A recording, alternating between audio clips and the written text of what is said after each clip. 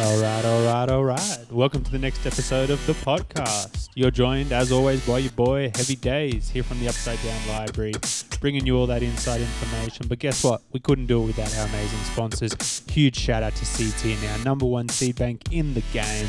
All the best breeders, all the best genetics, and the latest drops. If you're not satisfied at the end of your harvest, hit them up. They'll sort you out. Best in the industry. Seeds Here Now. Thank you so much. But in order to be able to properly evaluate the crop, you've got to make sure you have a good harvest free of pests and contamination. And for that, you need to check out the good people at Koppert Biological Systems.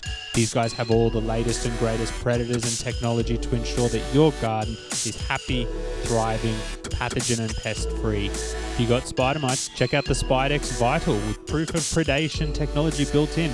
They turn orange in front of your eyes to show you that they're killing bugs. What more could you want? Well, you got aphids, check out the Aphipar M, another killer product. Both of these specifically designed for cannabis crops, going to help you to have the most successful harvest to date. There's nothing better than knowing that garden is free of pathogens, guys. Get on it, you won't regret it. Likewise, huge shout out to our friends at ProMix. You've known them and loved them for years. They make the most killer mediums in the game, already inoculated with microbes, trichoderma and mycorrhiza. But guess what? Now you can get their standalone ProMix Connect, a mycorrhizal product designed to improve the yields, increase the resin, increase the weight, terpenes, flavonoids, all of it's going to the moon. Don't do your garden a disservice by not using a high quality mycorrhizal product. Truly the best in the game, guaranteed spore viability. It's going to improve your crop. No second thoughts about it. ProMix Connect, thank you so much. Get on board, guys. It's going to make a huge difference. Finally, shout out to our friends at Charlie's Cannabis. You know them and you love them. Oklahoma based, veteran owned, producing some of the most fire, top shelf, commercially available cannabis you've ever seen. They've recently started making their own missiles. You will not believe the quality of these products. Pheno hunted from scratch using new, exciting genetics, all in house. Any products you get from them uses material they've grown.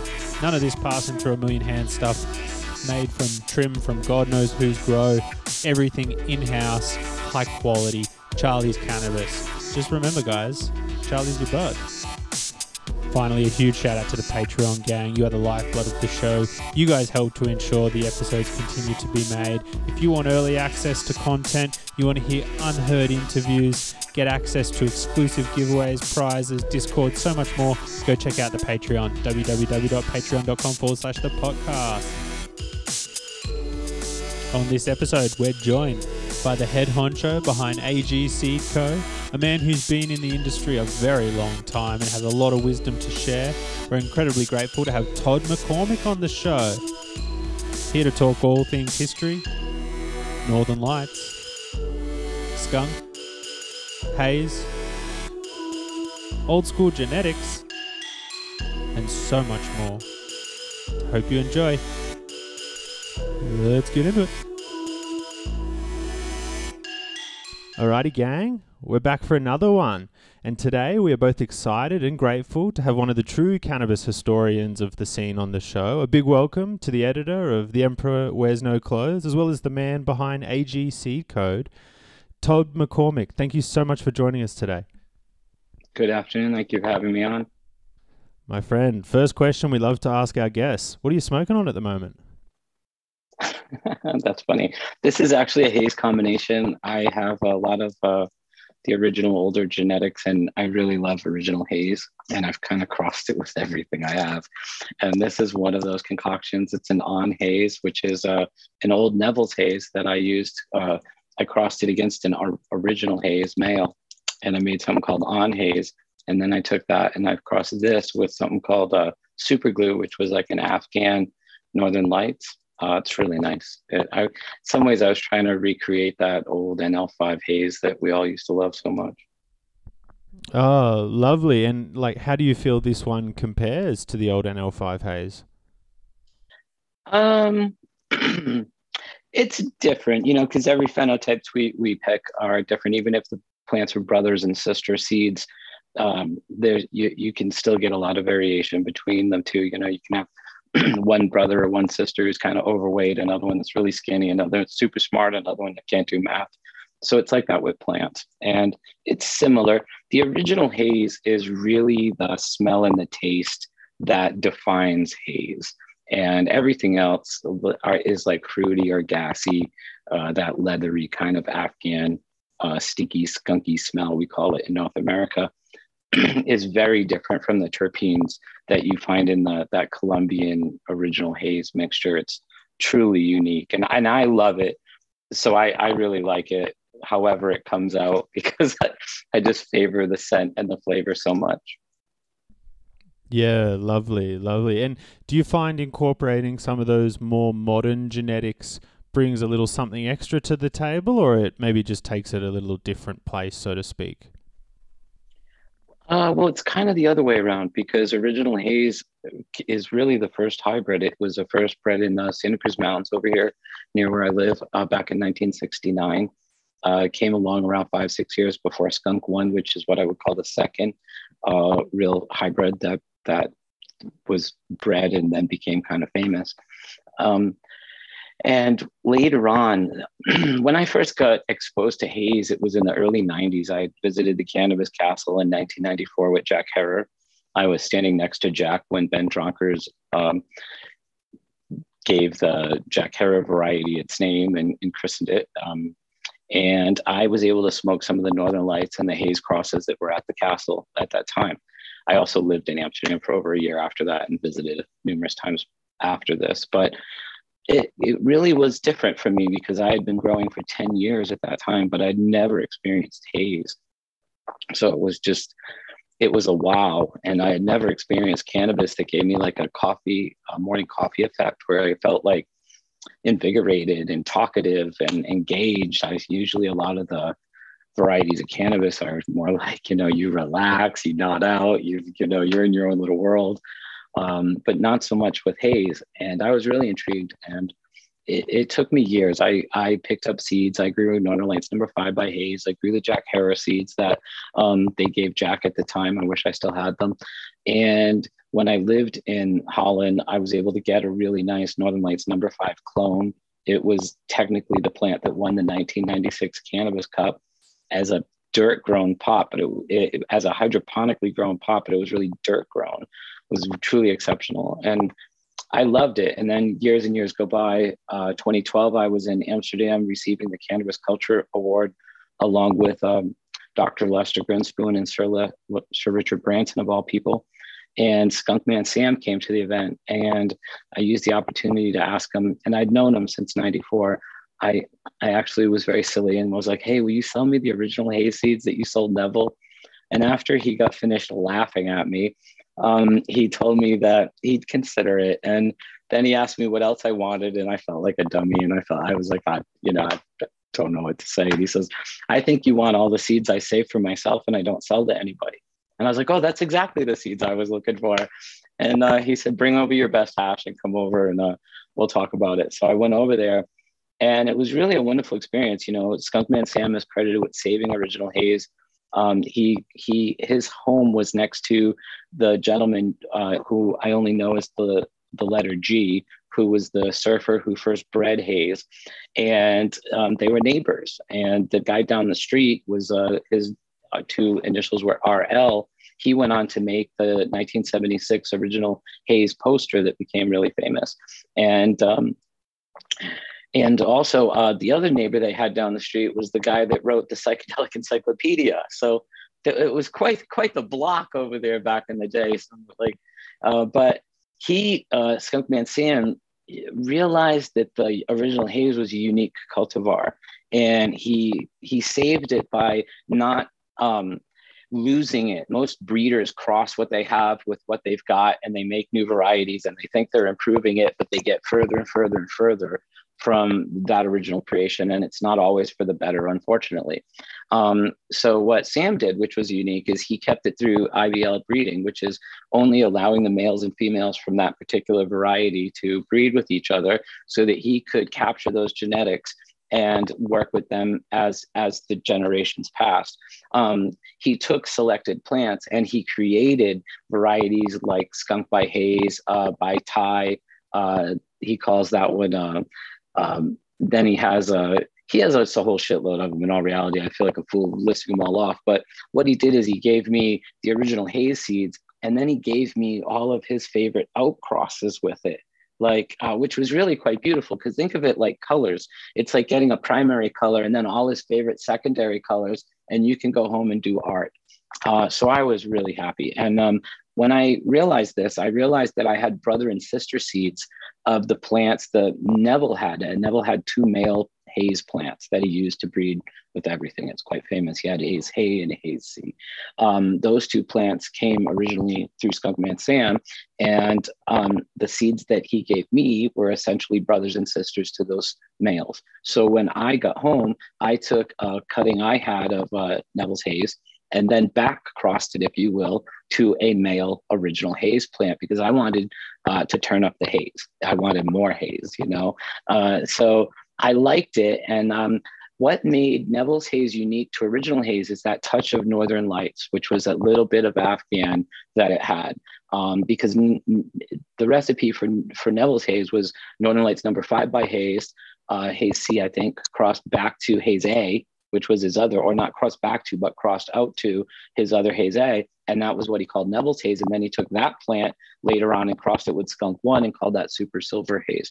Um, but that little bit of Northern Lights uh, really is something that I always just loved. And um, at the time, I didn't have original Northern Lights. I just had, you know, things like OG Kush and Super Glue, which are very reminiscent um, in, in all reality. So I, you know, what I was doing is trying to kind of recreate what I had with, with some of these genetics because going back to Skunkman Sam is like going back to, to the original source he's the guy that initially sold the seeds to Neville in the first place, and um, you know he's he's really the genius behind Skunk One and quite a few other varieties, even hemp varieties such as Finola. Just really quite incredible. Yeah, I mean the the breadth of his work is is phenomenal, and I mean on a personal curiosity, how did your uh, haze backcross end up turning out for you? I love Aunt Haze. I've used it quite a bit. Um, in 2019, I used the male from the, that variety that I created, um, and I crossed it against most of these um, like clone only cultivars floating around California. Because when I was working with it, um, I was realizing that you know when you do a breed, uh, when you're breeding with cannabis, a lot of times the female is a more dominant uh, on in the prodigy than the male. So I was able to kind of use my on haze as almost like a neon filter, where you where there's there's no real color neon, but uh, you because when you take red, blue, green and you want to make it neon, it's still red, blue, green. And what I wanted to do with a lot of these clone only cultivars, such as Green Crack and OG Kush and uh, Trainwreck and others, is I wanted to retain that red, blue, green, but I wanted to add a little bit of spiciness to it, which was on haze. And um, happy 420 from um, California. And uh, I always stop at 420 and, and light a joint and take a little breath, and it's like a little moment of uh, meditation. But um, but that's what I did, and it and it worked out really well. And then you know, as twist of fate would have it, I, you know, after Neville passed away, I wrote an article called Legacy of a Legend. And because um, he most certainly was a legend. And um, I got this comment from a guy named Greg, and he alluded to like Northern Lights living on through Neville's work. And I, I knew Greg's name. I knew that the guy that supposedly brought Northern Lights to Neville was named Greg and that he was from Seattle. And we've heard the story. And uh, I couldn't imagine he was commenting on my my post. So I messaged him and said hi and uh, tried to introduce myself. And he just said, you know, Todd, I've been following you for, since the 90s, you know, like, like I know exactly who you are. This is why I'm following your Facebook page. And we started talking and and it was really nice. And uh, he told me that uh, he always wanted to get original Skunk One, and he always wanted original Haze, but he couldn't get them through Neville, and that unfortunately him and Neville had a falling out. I'd say about a year and a half after they started doing business, you could say. Uh, Neville kind of went behind his back, tried to buy some of the seeds from another party, and and that was that was that. And it's interesting because I am a collector of books about cannabis, and I have all the old Neville catalogs, and there's actually a paragraph in one of the pre-catalog letters that he wrote saying, "Bad news, my Northern Lights supplier is cut off," and and I was just it just stunned me a little to to get it from Greg, you know, and what had happened and why that happened, why he got cut off, and it's just like wow. And um, at the time, I I sent Greg over the original Haze and Skunk just to be courteous. You know, he's a legend. He deserves it. Let him enjoy these genetics uh, for sure. Um, and then about a mm, maybe a year plus later, almost two, uh, we had been staying in contact, and um, he called me and said, "Hey, my uh, my sister passed away." And I, I said, Wow, I'm really sorry. And he said, Well, thank you, but not why I'm calling. Um, I wanted your address, wanted to return the favor. My family found some of my old Northern Light seeds in one of her freezers. And they're from the early 80s, from even before I met Neville. And uh, I'm getting germination out of them, and I'd like to see what you get. So I was like blown away and uh, sent him my address. And he sent me Northern Lights number two. He sent me Northern Lights number five. He sent me what is called Purest Indica, which is the Afghan that he got from this gentleman named um, Murphy Stevens. And he, Murphy Stevens, wrote a book called How to Grow Marijuana Indoors Under Lights, one of the best cannabis cultivation books. And I, I literally have every cannabis cultivation book from the 70s.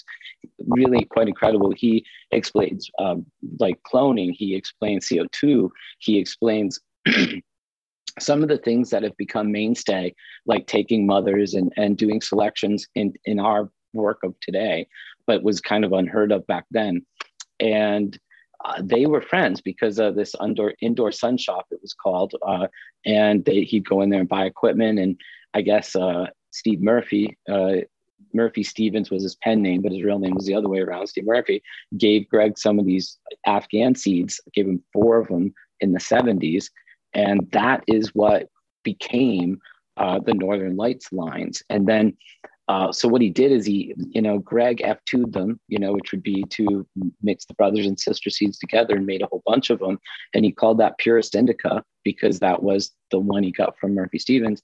And then what he started to do is cross, outcross it to other Afghans that he got from Oregon and California, and then more tropical plants. And I asked him what the numbers represented when he sent them to Neville. And he said the numbers were one through like 11 or 12 uh, were based on how uh, close they were to that purest indica, you know, one uh, being like, purest indica would more be like zero. Because if you're counting, it would be like O comes first, purest indica, first hybrid is number one, second hybrid is number two, third, fourth, and so on. Like number five, he told me was actually it crossed with what at the time they thought was a Hawaiian, but he has always believed was a northern Mexican variety. And uh, it was a little more tropical. So each of the plant numbers became more tropical and truly fascinating. I mean, from my perspective, uh, as a historian and just an overall cannabis geek, you know, I started growing in 1984 and I was reading High Times back then, like we all were. And, uh, and it, I don't know, it just like a little boy's dream to now be in communication with this guy. And, you know, he's in his 70s, a retired Marine. He's, you know, just incredible. And so I started growing them out and I have these old books and I have these old photos. And later on, I'll send you some pictures. It's truly remarkable because it looks exactly like the first page in Murphy, in Murphy Stevens' book. Uh, it just blows, blew my mind. And, um, so it's been really wild to now have these original Northern Lights and now I'm starting to play with those and the original haze and the original skunk. And it's quite the palette. Uh, if you were thinking of it like like art, it's it's quite the color palette to start with. And I actually have more of these original colors than even was given to Neville at the time because Neville never received all of Skunkman Sam's favorite outcrosses with haze. Um, he never received a batch of original haze seeds. He only got a couple males. So he was unable to do what I did, which was reproduce as an F2 or an IBL, original haze, um, and basically unlock it and share the genetics. He had to actually use them as hybrids, which uh, started appearing in the, the Holland Seed Bank catalog in 1988. Um, prior to 88, 85, 6, 7, there's not even the word haze mentioned in any of those catalogs. Um, and there's not even the haze, the word haze isn't even mentioned in the super long High Times article that was uh, published in Mar- March of 87. Um, because I came to the conclusion that Neville just didn't have haze at the time. And Greg um, told me that too. And then I've heard it from other people as well. But I, I think it's a real opportunity. I mean, there's been a lot of, you know, breeding uh, done in the past 30 years plus since the 80s. And unfortunately, I don't think a lot of it uh, was for the best. I think that a lot of people were breeding for uh, for for yield and and and for quickness rather than overall quality and terpenes. And unfortunately, I think we um, somewhat lost our way with some of these older varieties. And now that I have the original Skunk One and original Haze and original Northern Lights uh, in various forms, I am. It's like a time machine to me because I was growing back in the 80s, and now to have, be able to grow these again is just truly quite remarkable. Sorry, that was so long-winded. no, that was incredible, and I, uh, I already have that feeling in the back of my neck where I'm like, this is going to be a good one. I can tell. really, yeah, a, a myriad of different avenues we could choose to go in. After you gave me so many good little leads I could pull on. I guess something I wanted to discuss is this topic of Neville being a bit disliked. It's an interesting one because I've spoken to a lot of people who know him, and the most consistent thing I hear is he was a bit disliked, that he was a, a, complex man. And although undeniably he did some of the best breeding we've ever seen, he also burnt a lot of bridges. And I guess my question is do you feel like in a case like Neville, he's sort of one of those people where you've got to separate the art from the artist? And did you ever have any personal interactions with him? That's a beautiful way to put it. Um, I did have interactions with Neville. He was always nice to me when I met him. Um, I played chess with him once. Uh, we smoked haze. Um, I enjoyed it. I, I, you know, I grew up around drugs uh, as a kid. I was a, a little biker kid, and um, my cousin Kathy died from a heroin overdose way back in the early '90s before I ever met Neville. And I grew up around people that unfortunately uh, did abuse alcohol and were flirting with heroin and um, you know, when when you grow up around it as a little kid, you kind of feel it. And uh, you know, I'm not, I'm, I, I don't do hard drugs. I don't drink. I smoke hash. I smoke grass. Uh, kind of square in a way. Um, but you know, other than cannabis, we didn't have what we get high on in common. And unfortunately, you know, Neville. You know what I what I respect about Neville, and I'd like to say up front is when you read that article back in 1987, he's not a victim He's never been a victim of his own circumstance. He doesn't portray himself as a victim. He deals with his addiction issues like an adult. And, you know, he's remorseful for him. He's realistic about trying to struggle to deal with it. I have nothing but empathy for someone who's dealing with alcohol uh, and, and, and drug addiction. It's like a, it's like a disease. I get people say, well, it's a, it's a consensual disease. You, you, you, you smoke the stuff, you, you drink the stuff. This is your fault. But chemically, it, it gets a little deeper than that. And unfortunately, I believe that that you know his his substance abuse absolutely compromised his personal relationships with a lot of good people and unfortunately when i was writing legacy of the legend i know a lot of people that knew neville that was in business with neville that like really close to neville none of them wanted to say a damn thing and uh and unfortunate you know because you know it's is it so much he burnt the bridges or it was his addictions that caused him to burn the bridges. I mean, it, you, you, you know, but he did burn bridges. I, I've interviewed Skunkman Sam. I've interviewed Greg, uh, and and they told similar stories around the same time about how Neville ripped them off, knocked off their seeds, went behind their back. It killed their relationships with them, and um, you know, Greg and Sam don't know each other, so so they they're not there's they they they didn't meet until recently when I gave each other their numbers and said, hey, you guys, you know, you're both in your 70s, you're both legends, you should talk to each other. Uh, but up until now, they never had communication. So it's interesting for me, a journalist, to hear these unedited, you know, versions of, of events from the people who, who, who are really in, in touch and, and have the genetics now and, and had the genetics then. And, um, you know, and then you know, and as far as Neville, I and I don't mean to to bash, a, a you know, as a, as someone who grew up in the '80s, I, he was a hero to me in all reality, like like a rock star, Led Zeppelin. There was there was the Holland Seed Bank, and unfortunately, though, the more you get into the history of it, you know, like Neville only picked up a Mel Frank grow book in 1981. Uh, he was inspired by it, uh, and he started the, the Holland Seed Bank 84. Uh, initially, he started selling seeds he was collecting from Dutch coffee shops that he hadn't grown, and he literally had a disclaimer saying, "I can't vouch for these. I didn't make them." I think he was selling for like 25 cents each. Um, and his world changed when he met Skunkman Sam and got that whole catalog of really worked California genetics. Um, California Orange, Skunk One, Hindu Kush, Afghani One, Durban Poison. None of those Neville, Neville had anything to do with. And um, and realistically, at the time with the drug war and everything, you know, a lot of people weren't really stepping up to say, "Oh yeah, that's me that I did that." And uh, he he begot these genetics 1984, 1985 and kind of took credit for the work of many people that came before him.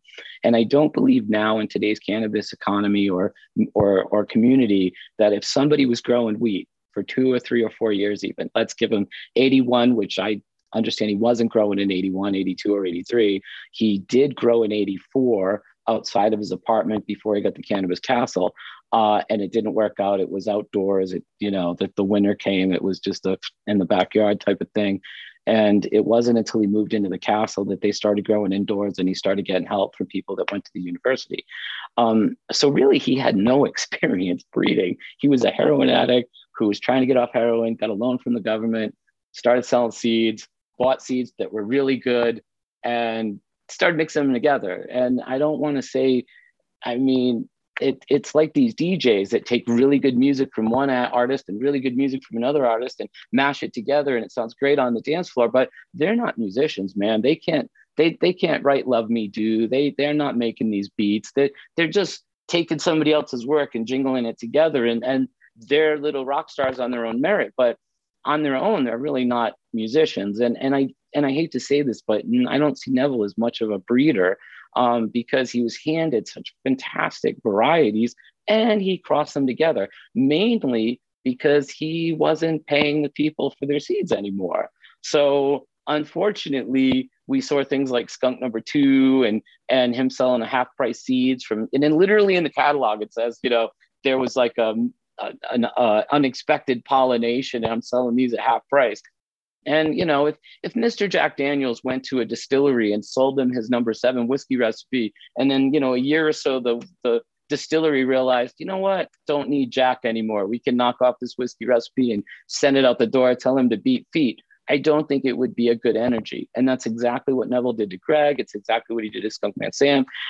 So, unfortunately, yeah, things went the way they did. And and then when you get into the the handover of the Holland Seed Bank to Sensi Seeds, it was continued in all reality. I mean, you know, initially when Ben bought the Holland Seed Bank, he attempted to trademark all of the Super Skunk, Skunk One, Haze names, uh, and sent cease and desist letters to other seed companies telling them, you can't use my names.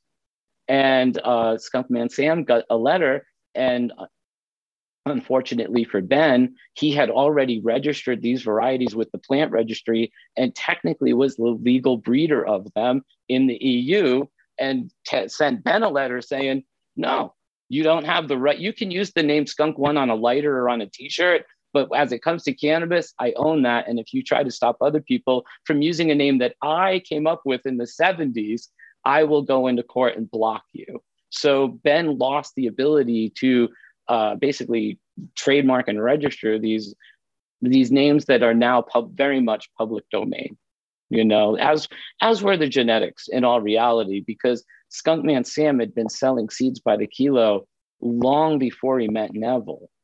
Uh, and um, plenty of people had skunk one seeds and or you know california orange and you know originally it was mel frank who made durban poison and afghan number one. So it, it was really a lot of other people, you know, that that really were the reason why the the Holland Seed Bank had such great varieties in the first place. You know, uh, in a really in one of his last interviews, if not his last interview, Neville is in Mishka's book, and uh, he talks about how he was never able to make anything worth anything from land race varieties of cannabis, and he gives credit to the breeders who came before him who took things like Afghan, uh, you know, Colombian gold and Acapulco gold and turned it into skunk one and, you know, Colombian genetics and turned it into haze and in the first place. And I honestly don't know how spectacular the Holland Seed Bank would have been if he hadn't gotten those American genetics from Sam and Greg and others through the 80s. All reality, if he was just left to the Jamaican, Colombians, and Thai seeds coming in through the coffee shops, it might have been a very different story. Yeah, very, very intriguing and very interesting to hear sort of a more inside take on it all. Because I think that was, I wouldn't say a pet peeve, but something which I always felt uneasy about was how, yeah, people always said, oh, you know, Neville's had a shady past, but no one would ever say to me what. So it's good to hear, like, you know, this is some of what it boiled down to. And I guess the natural question which comes to mind for me is, in my mind, I always thought a lot of those raw base genetics Neville used to make the crosses came from like one of those mythical landrace trips he did. But are you sort of more of the opinion that it, it was more given to him for the most part? Well, Northern Lights was sent to him as seeds one through eleven, uh, I believe, one through twelve, and um, and he made some of them very famous. The number five he used, the number six he used, the number two he used extensively. Um, Greg did send tell me that he never sent Neville the purest indica the the zero, if you will, the original egg of Northern Lights, because he didn't want Neville to have something better than what he had. He he sent Neville the hybrids. Um, so, you know, I I think that growers in some ways have been wise to the fact that they're going to get burned at, to a degree, and uh, they've wanted to protect their IP in various ways. Um, Simon Schmidt, who's Dutch and owns uh, Serious Seeds, he's a good friend of mine, absolute hero of mine, really. Um, but when he first started Serious Seeds, he only started with three varieties um, AK 47, Chronic, and Cali Mist. And they were all F1s. And he held the parent plants to each of those three varieties, and he could make those seeds forever and ever and ever.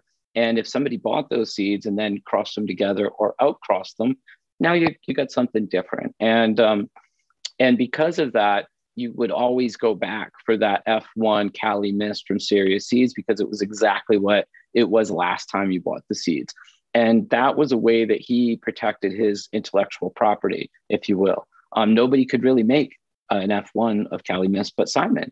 Um, so, you know, as this is, when you look at it that way, uh, that was happening even with Greg. That's why Greg didn't send him the original Purist Indica. That's why Skunkman Sam didn't give, that's why, that's why Neville never got original haze seeds is because he didn't want them to be able to have two of them and and make seeds of them. He he wanted to kind of keep control of the variety a little bit because, you know, I get it. Uh, and you know, in all reality, Neville had to wait for the haze. He didn't get it. It, it even offered to him in '85 or '84 when he first bought the seeds from from Sam. But also, there wasn't much desire for them because here there are these long flowering you know not even great yielding comparatively you know the the dutch and indoor growers were looking for quick flowering short plants that yielded that heavy resin that made indoor growing practical. And haze sure the hell didn't make indoor growing practical. It was quite the opposite. So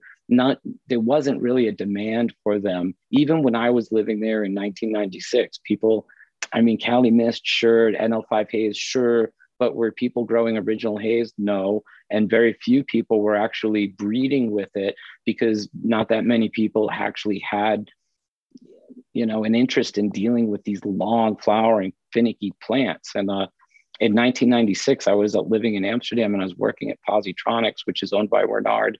And the gentleman named Old Ed, who originally taught uh, Wernard how to grow seedless cannabis in the 70s, was over there and um, he and I worked together for a year growing out various varieties of Posi's genetics. And unfortunately, uh, you know, after 10 years of, you know, politely, I'll say haphazard breeding or breeding that wasn't for, let's say, overall potency or, or, or flavor or scent, but instead quickness and yield, uh, a lot of them didn't have that. They weren't that, they were kind of watered down or muddied up, would be a polite way to say it. And uh, what me and Ed were trying to do was make selections and then try to make some F1s that could kind of bring back some hybrid vigor and uniformity uh, and consistency to the seeds that Posi was selling. And you know, I, I part of what I wanted to do when I started my seed company was jump a, a way back and get seeds directly from Skunkman Sam and Skip Neville, Skip Wernard, Skip the whole Dutch scene, you know, um, because nothing against. I mean, I got nothing but love and respect for a lot of my, my, my friends in Holland, but but realistically, the, the the purpose of what they were making seeds for was not necessarily the purpose of what the California people who were breeding, which was quality over quantity and everything else. then they got out there and it was about, you know, quantity, quickness, and quality uh, kind of went down. And I think a lot of people that were visiting the Netherlands coffee shop scene through the 90s would attest that the, the cannabis wasn't getting better over the years. It was kind of getting more and more uh, homogenous and uh, and and lackluster and just uh, very similar to each other. And a lot of that was because of a lot of inbreeding and uh, you know I hopefully what I'm doing now is kind of taking it back to the heart of it and going for the quality and going for those terpenes and going for that scent and the taste over the potency even because like I, I feel that if, if you have a good joint like this one is getting me totally stoned and I'm hard a hard time getting through it but uh, if you have a good joint, even if it's not that potent, you'll go back and roll a second. Or if it's good hash, you'll go back and, and pack another dab. Um, but if it's not that good, uh, it doesn't matter how potent it is. You know, it's like when you drink, you know, you don't drink straight alcohol to get drunk. You kind of like the nuances of the wine or the beer or whatever it is you're drinking. So I think that's the same with cannabis. And I think as as we get back into that quality over quantity and quickness, we're going to see a lot better cannabis hitting the scene. And unfortunately, because of like that quick, you know, mindset, all the varieties that were 10 weeks and you know 10 to 16 weeks really don't get grown by people anymore. Um, but they're still around. And think of it like a box of crayons that have 16 crayons. We're only playing with the first 10 crayons. There's crayons number 11 12 13 14 15 and 16 there and people aren't even doing art with them yet and and that's in a sense why i'm really excited to be bringing the original haze genetics back and and kind of moving towards these equatorial varieties that used to be shunned because of bag appeal and growth characteristics, but were really great.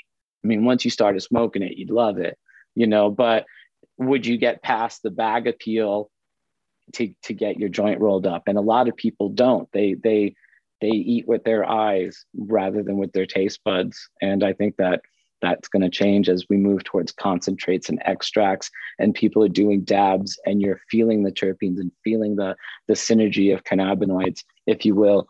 And I, I i think people will start buying cannabis based on how it makes them feel over how it looks in a bag.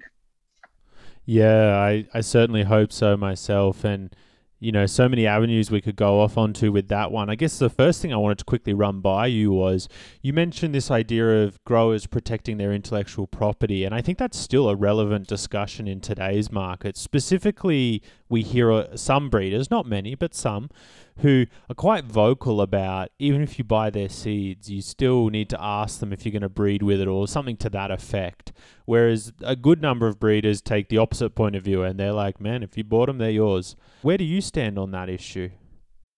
I, am strange. I stand on both sides of the fence. I completely, I call it public domain genetics. Um, nobody invented cannabis. I wouldn't have this wonderful joint of haze if it wasn't for, you know, some guy named G that was playing with it a year before I was born. So I'm grateful for the, you know, shoulders of the giants I stand upon. And I try to give credit where credit's due it at every corner of this. Um, but that said, um, you know, when somebody like Simon, use, use Serious Seeds as an example, uh, wants to put a company together and put out a product like Cali Minister, AK, or Chronic, um, I think they should have a right to be able to try to make something unique. And it, and by doing it the way Simon did it, which was so intelligent, it gives his customers a reason to go back and get those F1 seeds from him because they know why. They they have a reason to um, because they know it's authentic, and he's the only one that held the parents.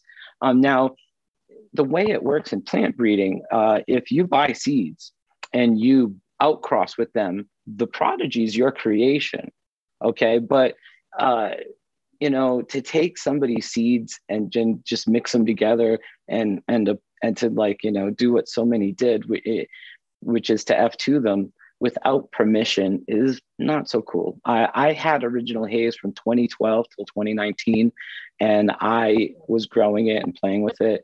And it wasn't until I started my seed company that I called up Skunkman Sam and, and formally asked his permission to make seeds of it. And, uh, you know, within his good graces, I did. He even consulted on how he recommended I reproduce those original seeds that he gave me so that I would get the best, you know, quality out of the prodigy and have the most uh, variability in selection. And I appreciated that, and and he he did too. And when I got the original Northern Light seeds from Greg, I again asked his permission, and um, and not only did he give me his permission, he he gave me his encouragement because his goal has been to share the genetics with people and you know to spread the medicine and uh, and it's beautiful. I mean, a lot of people don't know Skunkman Sam's goal in the 1970s was to create a true breeding or a relatively true breeding variety because he was an acid eating hippie and he wanted his friends to be able to get the seeds and to be able to mix them together, the brothers and sisters together, and to have the prodigy come out relatively close to the parents. And normally that doesn't happen. Like when you mix closely related genetics together, you get like a dog's breakfast, you get, you know, uh, a lot of variation. The haze has got a lot of variation in its genetics. It's not relatively true breeding at all. It's the opposite of skunk one. And when I asked Skunkman Sam, you know, why, how did you do that? He said, I didn't, nature did. He said, I just had to cross together enough plants to find the ones that when I crossed them together, they had the uh, effect of being able to be a relatively true breeding plant. And I was just like, wow. And it kind of went to show how humble he was. There's a great article that we republished in our magazine Grow uh, called Sun, Soil, Seeds, and Soul. And he wrote it for what was called Blotter magazine, which was an LSD magazine that was published by the gentleman who would go on to publish the Psychedelic Encyclopedia. And he wrote this really long breakdown of how people can learn how to breed and how he created things like Skunk One. Um, and he was trying to share the information. I mean, anybody who's done a lot of acid would understand that kind of like feeling the oneness with uh, all of humanity and that was his goal. His goal was to turn Skunk One into this massive public domain genetic that would only create good cannabis for the rest of the world once they got the seeds. And that's why Skunk One has been bred and into everything because it adds this consistency and uniform to practically everything that you cross it with. Uh, it's unique in the cannabis kingdom. And um, yeah, that's in a way why it became so famous. Yeah, truly one of the most famous strains of all time, and interesting to hear the backstory. Yeah, that's that's cool the way Sam's quite humble about it. I was interested to quickly loop back for a moment and ask you. You know, you you spoke about the Holland Seed Bank and Positronics and Serious Seeds, and one of the seed banks besides the seed bank itself, the Holland Seed Bank, um, like yourself, you know, a lot of reverence for them. I also really, really looked up to Super Sativa Seed Club. Where did you rank them? Um, you know, uh, I believe that Carl got the inspiration to create SSSC uh, out of what Neville was doing with Seed Bank. Um, and uh, Carl also went and purchased seeds from uh, Skunkman Sam as well. Everybody did really. When Sam moved there and started working with Wernard on the green team, they were providing seeds to all of these, you know, the Flying Dutchman and others that started up even before Sensi Seeds was Sensi Seeds. It was the Sensi Seed Club. It was technically SSC and not SSSC, which was the Super Sativa Seed Club.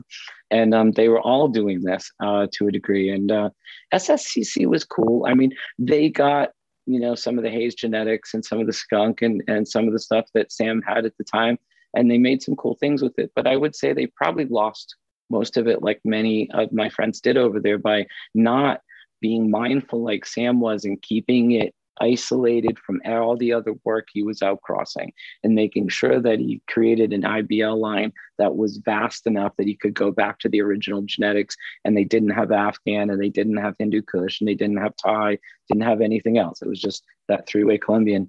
And unfortunately, a lot of them lost it. And when I started up my seed company, one of the first orders I received was from SSSC.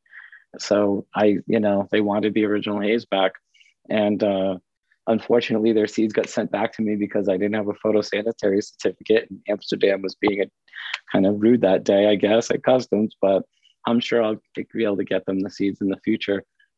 You know, but I I think they played a great role in this too. You know, um, I think these seed banks were the first heroes because they were the brave ones that made them available to everybody, and we all benefited from it um, to a large degree. You know, unfortunately, Neville worked with some you know shitty people and he was turned in by the guy that was actually sending his seeds for him um, from Michigan. So the story in a short way goes that um, somebody called Neville up back when Neville was answering the phone and drummed up a friendship over the phone with Neville from Michigan. And Neville invited him out to the castle. And this guy, um, Anthony Ray Kogo, went out there numerous times and something happened with the seed sender that Neville had in America.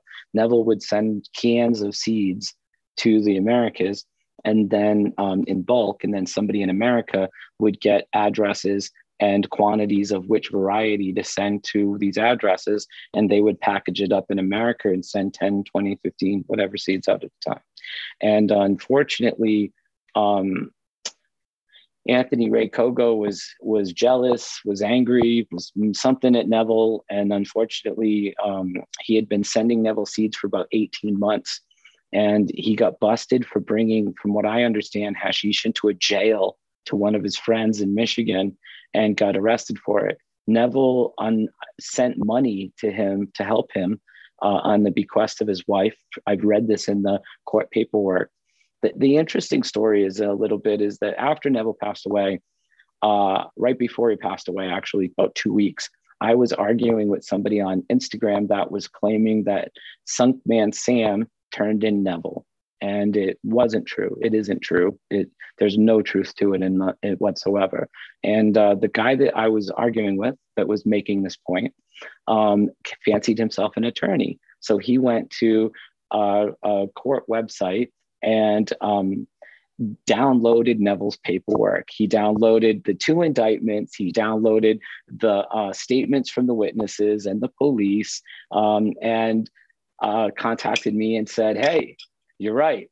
Skunkman Sam had nothing to do with Neville getting busted. It was this guy named Ray Anthony Kogo that used to send his seeds. And I said, How can you be so certain? And he said, I'll send you the paperwork. I paid $29.60 and, and I downloaded all the paperwork. Anybody can. And I was a little shocked. So he sent over the the court paperwork and I got and I'll send it to you afterwards. Actually, you can. It's quite intriguing.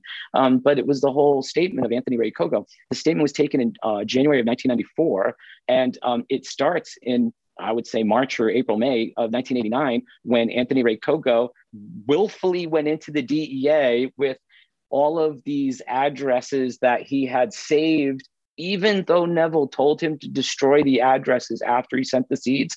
This SOB saved the addresses, brought all the addresses to the DEA, and turned in Neville, turned in all these people at the same time and cut a deal for himself. Incredible. And um, tr- truly amazing because unfortunately Neville was paying him to send the seeds, but they made a deal that Neville sold him the recipe to his nutrients. And this guy came back and started selling Kogo's nutrients. This is still for sale today and brags about the fact that he got the recipe from the Netherlands. And and once he had that recipe and his and he was making the fertilizer, he really didn't need Neville anymore. He didn't need to work for Neville anymore. So he turned him in and he acted as an undercover witness, if you will, 1989, 90, 91, 92, 93, because they didn't take his sworn statement until January of 94. So poor Neville didn't even know who did it for the at first you know you you take 1990 91 92 93 it, it, was a it was a mystery to neville all the way up until the case was dismissed in i think 02 uh, and only then was this paperwork made public. And then there was no internet like this, so you couldn't go to pacer.net or .gov and download the court file. So, so it, it took a long time, I think, for Neville to truly find out who was really behind turning in the seed bank and what the real story was. But unfortunately, it was this guy Anthony Ray Kogo, and um, and that's inevitably what took Neville down it's so interesting. You know, what what's the saying? I remember Skunk VA said it. Uh, real life is always more interesting than fiction or something like that. But it sort of holds true. And the the general question that comes to mind for me after hearing that is we often see a lot of people blaming a lot of stuff on Dave Watson. And I've had Ryan Lee, um, Chimera, who you're probably familiar with. I like Ryan a lot. Ryan stayed at my house before. Yeah. There you go, right? And and Ryan is adamant that, you know, the same as you, Sam's never never done any of this bullshit. So my question is, why do you think he's the scapegoat for all the bad stuff that happens? You know, and I I I don't think he is a scapegoat for any of it. I think Neville I, you know, I, I, I, to put it in plain English, I think Neville's a fucking asshole for starting the room as he started about David Watson. You know, calling somebody a DE agent is akin to calling him a pedophile. It was the most horrible thing you could do. It's the biggest traitor in the world, and um, and and and he knew it wasn't true. He knew he was lying. He knew it. He knew it, and he lied anyway. And he did it to bolster his own reputation.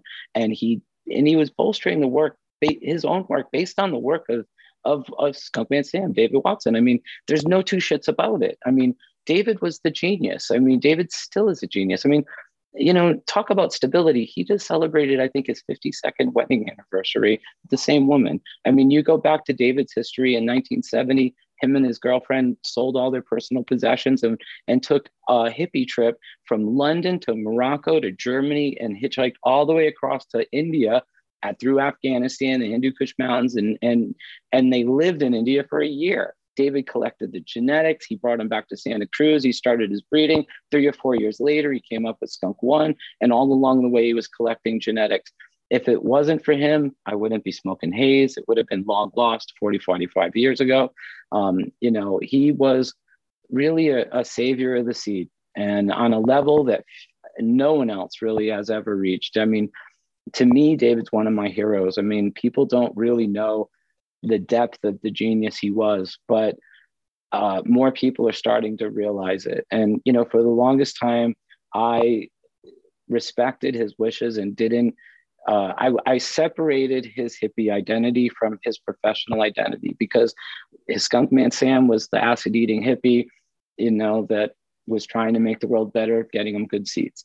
And then when he grew up, had a couple daughters, you know, became kind of square and uh, started following the progress of Marinol, which is a synthetic version of, of THC, and saw there being an opportunity to create a generic version of THC. He literally country shopped, realized he could start uh, a company in the Netherlands uh, called HortaPharm, and he could become the very first private commercial cannabinoid pharmaceutical company in the world, and he did it. And, you know, part of the anger that my Dutch friends, Ben, Wernard, Neville, a few others have had against him is that they didn't understand how he got a license to grow cannabis in the Netherlands and they didn't know how to. And the truth is, they could have all gotten licenses to start a cannabinoid pharmaceutical company if one, they knew what they were friggin' doing, or if they saw the market, the international market for medical cannabinoids, but they they weren't on that trip. You know, I'm actually writing an article called Ants Under the Skyscraper, which is actually about the formation of the Dutch seed companies. And I and I labeled it that because I feel as if these guys were like the ants under a skyscraper that cannot comprehend the engineering or the building that they live under. They can't comprehend the sophistication that's happening on the penthouse floor. They they they they just don't get it. And those guys didn't get medical cannabis for a very long time. They didn't know what terpenes were. Um, you know, look at the pollinator. Nothing against Mila. I think she's incredible, but she named her resin extraction machine male pollen because I lack of better understanding should have been called the resinator because realistically she was tumbling female flowers and extracting the resin heads from it. She wasn't tumbling male flowers and extracting the pollen from it. But that's the kind of misunderstanding i saw when i moved there you know and you know and i and i got where why there was a mystery. And unfortunately you know what people don't understand they often condemn. And I think that a lot of these people condemned it. And when HortaPharm hit the scene and suddenly there was this David Watson, a lot of the people that had met Skunkman Sam under his fake name Sam, um, and his last name was his hippie acid nickname Jingles, just spelled backwards, which is really kind of funny. So he's a big dude. He's over six foot tall, and he used to wear these gesture hats that had bells on it when he would there'd be these like legendary acid parties in the 60s before it was you know illegal and and in the 70s still and and they were heavy into psychedelics this is where the grateful dead was born these are the santa cruz mountains where ken kesey was and the merry pranksters were this is this is what was going on back then and he used to wear a jester's cap that that jingled and uh, so his nickname was jingles and when he moved over there it was also skunk man sam and when he moved over there, it just became Sam Selgnij, which was Jingles backwards. And um, and I get it. I mean, my friend who publishes Grow Magazine, when you meet him, he usually says his name's Guy. It's not. It's Steve. But he has a wife and a kids, and he's, you know, trying to create a little bit of division between his family and the and the BS. And uh, and I get it. And it was no different back then. And then when people discovered that Skunkman Sam was David Watson, they turned it into a big conspiracy, and it really wasn't. And you know, unfortunately, just because of their own lack of imagination, they didn't start cannabinoid research, you know, companies uh, because they didn't know anything about it, man. They didn't see the market potential. They didn't have multi-million dollar investors that wanted to invest into what could become a multi-billion dollar company in the future. I mean, I think these guys were forward looking.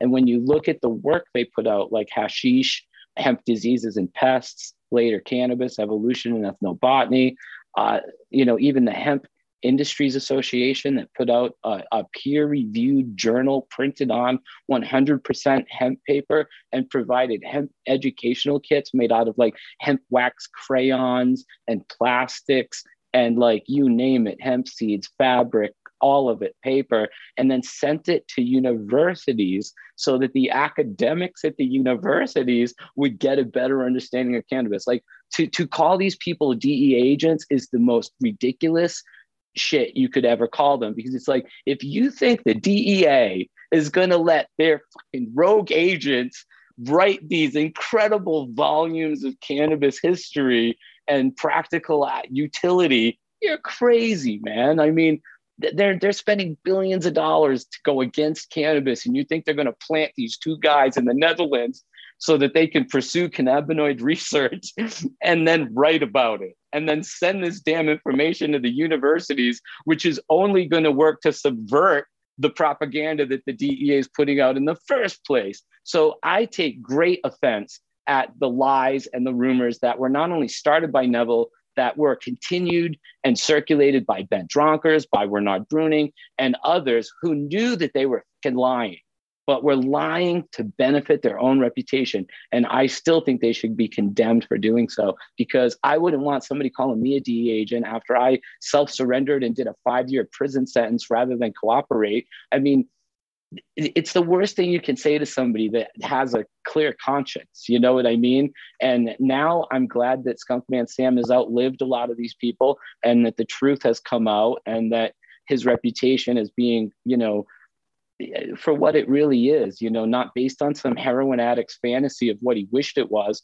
but on the reality of of, of a lifelong's worth of work, basically protecting the seed, sharing the information, and doing good for for the world around him. And and that's I, I feel really passionate about Skunkman Sam and David Watson. I, he's one of the nicest people I've ever known. I've known him since 1994. One of the most solid people I've ever known. You know, I mean, a lot of us don't have relationships with our loved ones that last 51, two years. And, you know, it really goes to show what kind of a person he is. Everybody that I know that knows him really loves him and has respect and admiration for him. And, you know, I, after knowing him for so long, I understand why. He's never done a bad thing. He's never said a bad thing. He's never lied to me. And to me, that matters. Yeah, very impassionate and uh, informative answer there. And I, I would agree. Everyone who I've spoken to who knows him personally has echoed your sentiment. And I guess I've just got two final little questions on Neville before we sort of talk about some other stuff. And I guess I'm interested for the last few years before Neville passed away, because he, he did pass away a few years ago now. He was actually a little bit active on the Mr. Nice Guy forums and he was causing a bit of waves over there with some of the stuff he posted. I was wondering, did you ever get around to reading that and did you have any thoughts on, on any of it? Because some of the stuff he posted went very much against the grain of what the stories that were circulating sort of said. Do you think maybe he was just a bit unwell, or do you think there was maybe some truth to it all? Unfortunately, I think Neville was one of the, you know, first cannabis uh, people to like reinvent the stories and put out misinformation to benefit himself. And, you know, when he broke up with Arjan very publicly, you know, for those that read forums back then, it wasn't a pretty divorce. Uh, he took his genetics and he sold them to Scotty. He didn't move to Switzerland. He didn't follow Scotty. He didn't go do breeding. He said, Here you go, give me money. And he helped market the genetics that Scotty was making in Switzerland until the point where Scotty got busted. And unfortunately, Scotty also went to jail for five years. I believe it was quite a while. Um, and, you know, Neville was already out of the picture at that point. And I don't know what of those genetics were saved or lost because I wasn't there. I um Scotty is Shanti Baba, by the way. I mean, I knew Scotty as the guy that worked for Arjan when I first went to uh, Amsterdam. Arjan and Scotty were, you know, Scotty was like his assistant, if you will. And um, and I like Scotty. I, I've always thought Scotty was really cool. I I didn't know him around the name change. I I'm you know I don't know where the Shanti Baba came from, but whatever. And uh, you know, and I think Scotty's a good grower, man. He's got a lot of experience and stuff. Uh, but he inherited the genetics that he got from Neville. And, you know, Neville pulled the same thing with uh, Arjan that he pulled with Ben. I mean, when him and Ben broke up, he took his genetics. He had people that he knew that worked at Sensi, since he destroyed the genetics. And even worse, I mean, I know firsthand that the person that supposedly was supposed to destroy the plants stole the plants and then years later offered them back for sale to Sensi, uh, which is just such double cross that's just like, but you saw a lot of it back then. And, uh, you know, but he broke up with Ben and, you know, talk shit about Ben. And then he broke up with Arjan, talked shit about Arjan. Uh, you know, and I don't know what his relationship with Scotty was towards the end, but he was using the forum as a soapbox. And unfortunately, a lot of the stuff that I've seen, uh, it doesn't go with the stories Greg's told me, the stories Rob Clarke's told me, the stories that Skunkman Sam's told me, uh, the story that Ben's told me, and Alan Dronkers. I've spent time with all these people, um, and you know, unfortunately, they they sing a similar song and they're not in the same room together. And unfortunately, it doesn't paint a very pretty picture. You know, it paints a picture of people that were disappointed in somebody that they tried to like a lot, you know, but somebody that was dealing with the demons of addiction. And unfortunately, that was spilling into the rest of their life. So Neville was haunted in a polite way. And who knows what kind of a person he would have been if you take the heroin and the alcohol away. You know, could have been a whole different world for him. He could still be alive today. But it's not the not the Neville that he was, and you just got to accept people for what they are, and you know, give sympathy and pity where where it belongs. I mean, anybody who's a drug addict, I feel for them. I unfortunately not one, but I, I have nothing but empathy for people that are struggling with addiction. But it doesn't give them a free pass to be able to try to destroy the reputations of good people, um, especially when they know they're lying. You know, especially when they know with what they're saying is is not true. You know, in that form, I kind of condemn them. Yeah, no, I understand where you're coming from. And I think maybe the saddest part about what you just said is that I think you banged it on their head in that Neville probably likely would still be around if he didn't have those demons. On the other end of the spectrum, the question has to be asked would we have had the same offerings from him? And yeah. Well, it was the addiction that caused him to start the seed company. Don't forget, it was a grant from the Dutch government because he was dealing with uh, addiction maintenance and they were trying to get him onto starting a business. And the Dutch government gave him a loan to start the Holland Seed Bank um, back in 1984, which is quite astonishing. You know, only only only in the Netherlands could could this story be what what the real the reality is always much stranger than fiction. Yeah. Well, to loop it back, I guess I sort of wanted to end the Neville discussion on a more brighter note. And something which I've always suspected is that the point you made about how he's like a DJ, you know, he's sort of mixing and mashing other people's work, that, that kind of resonated with me. And what I thought is if we're going to use those terms to keep it simple, I sort of get the feeling there haven't really been as many DJs on the same level as Neville. Like as much as I agree with what you're saying, he didn't create the music, so to speak, so it's he shouldn't be credited with that. But I also feel like he did a pretty darn good job as a DJ. Would you agree with that? And do you think there are any other people who are in that same echelon of mixing and matching and creating really standout work? Sure. Uh, you know, Kenny, Kenny Morrow, Trichome Technologies, that poster behind me over here, I think. Kenny uh, Ultraviolet, which was the what became Purple Passion, Granddaddy Purple, everything else, uh, was his work back in the mid '90s. He released that. He's released quite a few varieties over the course of time. Um, Simon Schmidt, I think, is a phenomenal breeder. I mean, he went to school for plants. He's he's his his company has been around now, I think, 30 years almost. Uh, 94, I think it started. So he's coming close to around his 30 year anniversary. Um, and you know, there's Skunkman Sam, who's really a god over Neville. I mean, Neville used to really kind of attack Sam all the time, but Neville never made a skunk one. Never, Neville never made any of the varieties that Sam gave and sold to him, and that he built his business upon. And he always tried to steal the credit from where the credit was due, which is something I don't do. Uh, you know, but then again, when you look at a lot of these California varieties, um, you know, sour diesel, train wreck, green crack, God bud, you know, I could go on and on. Who made California orange? I don't know, but it was really good weed. And, uh, you know, unfortunately, through the drug war, we didn't get a lot of people who had the courage that Neville really had to stick his head above the water and say, yeah, I did that. And then, and I, and I'll give him credit to this day. I mean, I think we should, you know, I wanted to emulate him. I was, when I met him, he was still a hero to me. You know, I, his, his courage to do something that was, you know, wrong uh, was right. You know, he, his selling the seed to the community was a good thing. Unfortunately, Operation Green Merchant came out of it, and he got a lot of people busted uh, because of his poor relationships or his poor picking of relationships. Um, but you know, you can't go back and fix the people that screw you over. I sometimes wonder if that guy was a cop the whole time and that that was a full engagement because why else would he have saved all those addresses if he didn't plan on using those addresses at a later time to his benefit? So there was clearly a backdoor that he was leveraging. Um, at the time, he was also growing and doing his own thing. So maybe he just felt like if he did get popped, he would just turn over, which he did. Um, but if you read when you get it, you'll see what I mean. When you read it, he went willingly to the DEA and turned in Neville and turned in all of his customers. So, you know, there's there's two sides of every sword, I guess. And uh, unfortunately, uh, a lot of people got sliced by it, but it created a new opportunity. And look at all the seed companies, SSSC, uh, the Flying Dutchman, Paradise Seed. Luke is awesome. You know, he's a really good one too. Luke has maintained a long time. Sensi Star is a great variety. Um, you know, there's other people like, you know, the guy that made White Widow, his name was Ingemar. Um, not much of a breeder, but he made a variety that a lot of people, you know, to this day recognize, you know.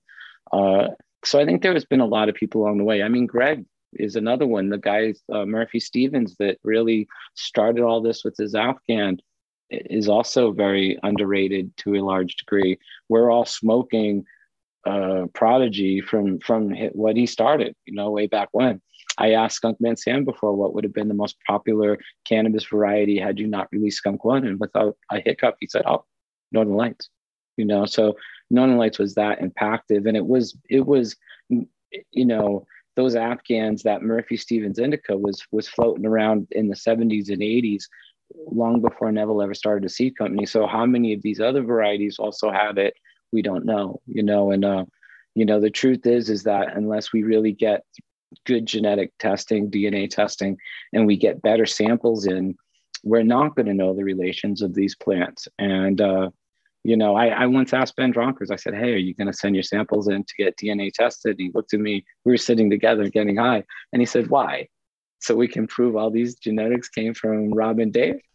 and I was like, I get it. I get it. And he, and, and I get it. I get it. If you've made a living making millions of dollars selling Jack Daniels whiskey uh, in your distillery and you ain't never had to pay Jack, I don't think you want to, I don't think you want to, who is the daddy test?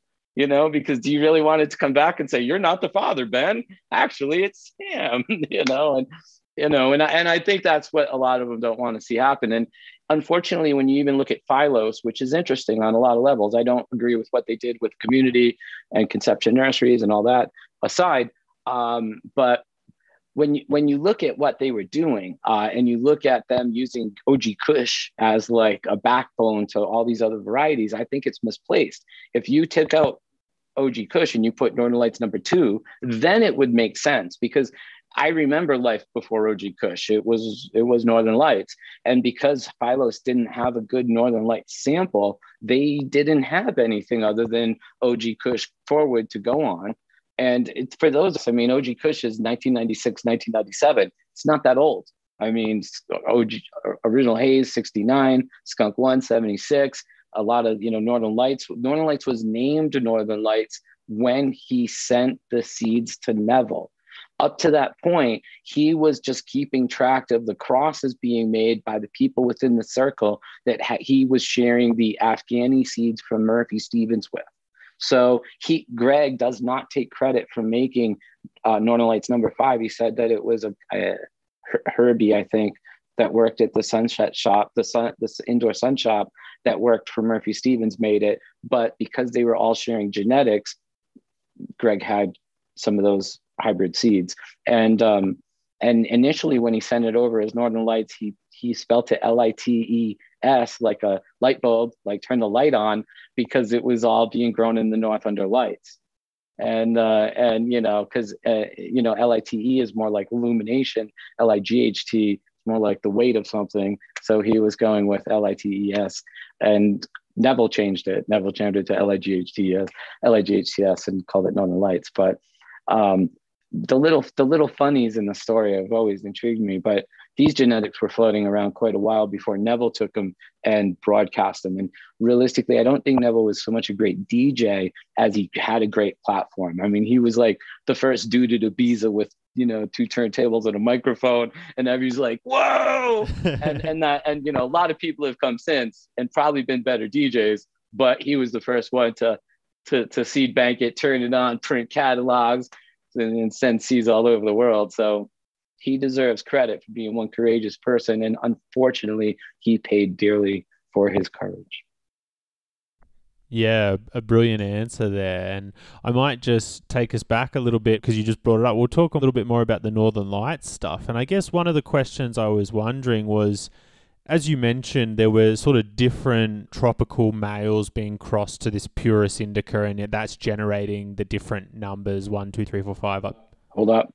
It's not just a female because they had the seeds of the Purus indica. So as they would grow out the Purus indica seeds, I have boys and girls of Purus indica downstairs. So I can go either way. So it wasn't just uh, girls being married to tropical males. It was, uh, you know, and uh, when I interviewed Greg, he he's really humble too, man. He's like Sam. When I asked him, you know, what the genetics were, he's like, "Well, we'll never really know, will we?" and it's and it's just a beautiful it's a beautiful honesty that I really appreciate because one of the things I don't like about the cannabis community is how certain people are about you know things they don't know. And even now everything i'm saying is just from my journalistic research.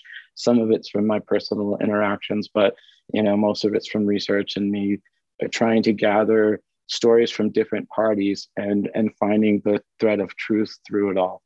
That's always been my goal. I'm really not biased to what the truth is. I just would like to know what it really is. Yeah beautiful sentiment there. I guess it did make me wonder did Greg ever mention anything about any of the other parents being kept in a pure form, or was it just the Purus indica and then they would just cross it but never keep the other things pure as well? Well, if you know, the way I look at it is this if you had groups of people, like, you know, you have one guy playing with what was a Hawaiian, maybe Northern Mexican, and crossing it with it, and he had his genetics. And then there was the guy that they referred to as the Indian who lived out on an island. He had his genetics and he crossed it together. So what I see is like uh, a, a, a, a, pure, a pure color, a, a primary color, and then the color is shared and then some people are mixing a little yellow, some people are mixing a little blue, some are mixing a little brown, some have yellow, and and some have orange, and they're all coming out with something slightly different, and then they're sharing again, and uh, that's how Greg kind of described it, and um, it, it makes sense to me as somebody that has friends and loosely shares genetics and then gets them go you got to have these seeds back. I made them from your variety it's, it's kind of like that. And you know greg initially sent seeds to neville because he wanted to trade with neville. He wanted some of the varieties neville had. Um, he made a comment though because neville never sent me back anything nearly as good as we sent him. You know and uh, and and I get it. I get where he's coming from too, you know, because if he's experiencing the F1s from his friends who are first making them, he's going to get more robust prodigy because they're going to have the the hybridized effect of you know consistency uniformity and vigor more so than the plants that are being maybe inbred and inbred again or being bred with genetics more closely related to one another uh, you know, which I'm sure Chimera talked about when he was on because he's he's brilliant when it comes to breeding. Um, but you know, normally, like humans, we're not trying to you know have sex with our cousins because you know babies don't come out so good, and uh, and it's kind of similar with cannabis. And I, you know, I, I think this is also why a lot of Neville's initial offerings were so good because he was making these F1 hybrids with um, distinctly different genetics, original haze males and Northern Lights females, or skunk, which didn't have any Northern Lights in it. Skunkman Sam never had Northern Lights genetics. He never, he never got them. He never worked with them. Um, and on the other side of it, Greg never could get his hands on original skunk and never got his hands on original haze until you know, some fucking kid like me comes along and sends him to him in his retirement sometime in like 20, 2018. I think I sent him those seeds, you know. So, you know, it's it you never know how it's gonna work out. But you know, Greg was in Vietnam from 1965 to 1969, joined when he was 17 because he was going to be drafted, and um, started smoking cannabis when he was in Vietnam and uh, brought back the habit or the hobby and started growing in 1969 as soon as he got home. And he was taking horticultural classes at the university uh, in Seattle and the University of Washington. And it's funny because he's in his 70s now and he is still taking university courses online. And he shares with me links constantly about you know testing sugar content in your plants and like how to avoid different diseases and like light penetration. And he's such an avid learner and i absolutely adore it. I absolutely hope i have his uh, vigor for life uh, when i'm his age. I guess it's not that long. I'm fucking 50 now so to just keep up with the health food. But it's it's really cool. And uh and he just kept it up. I mean, I think he met Murphy Stevens in around sometime in the 70s, mid 70s after the book came out. And he said to me that he first cut those four seeds from Murphy Stevens in 1979. And it was one of the, you know, the best Afghans that he had ever gotten up to that point. Um, because a lot of the hippies uh, initially were breeding with uh, more tropical varieties that were coming in Thai, Vietnam, Mexican, Colombian. These are all semi tropical. It wasn't until the hippies started coming back from the hippie trail with Afghan varieties in the mid 70s that these uh, skunky, stinky, uh, earthy uh, tones were kind of brought in, and these fast flowering, heavy yielding, uh, broad leaflet uh, varieties were, were starting to get brought into it. Uh, original Skunk One started as one of these Afghans crossed with Colombian gold, and that was skunk. And then he took that plant and crossed it with everything he had until he realized that when he crossed it with Acapulco gold, that that combination of genetics, when you grew out the prodigy and you bred the prodigy together, would be consistent and uniform. So he did that with all of the different ones he had and threw them away once he realized, oh, this is the right genetic lock in order to go with what I'm doing. Uh, really unique. I mean, a lot of people won't spend the time, won't, you know, he always, if you ever could talk to him, he'll say, you know, he kills plants more than he grows them. but I get it, you know what I mean? Because you can't get attached, man. If it doesn't meet the standards, poop, out of the garden it goes. And that's what really makes great cannabis. And uh, and I think that a lot of the unfortunately, uh, you know, people that came along later weren't really working on the scale that he was working on, you know, tens of thousands of plants at a time, you know, uh, 50,000 skunk seeds or 50,000 original haze seeds in a single 50,000 square meter greenhouse going off at once and creating, you know, more seeds of its own variety is something a lot of us don't get the opportunity to do. So he was in a position to kind of maintain his genetic gene pool on a level that few others were. And when he, you know, from my interviews with him, my conversations, uh, when he was doing HortaPharm, there's no limit on seeds. Nobody cared about the seeds. You know, there's no drug content on the seeds.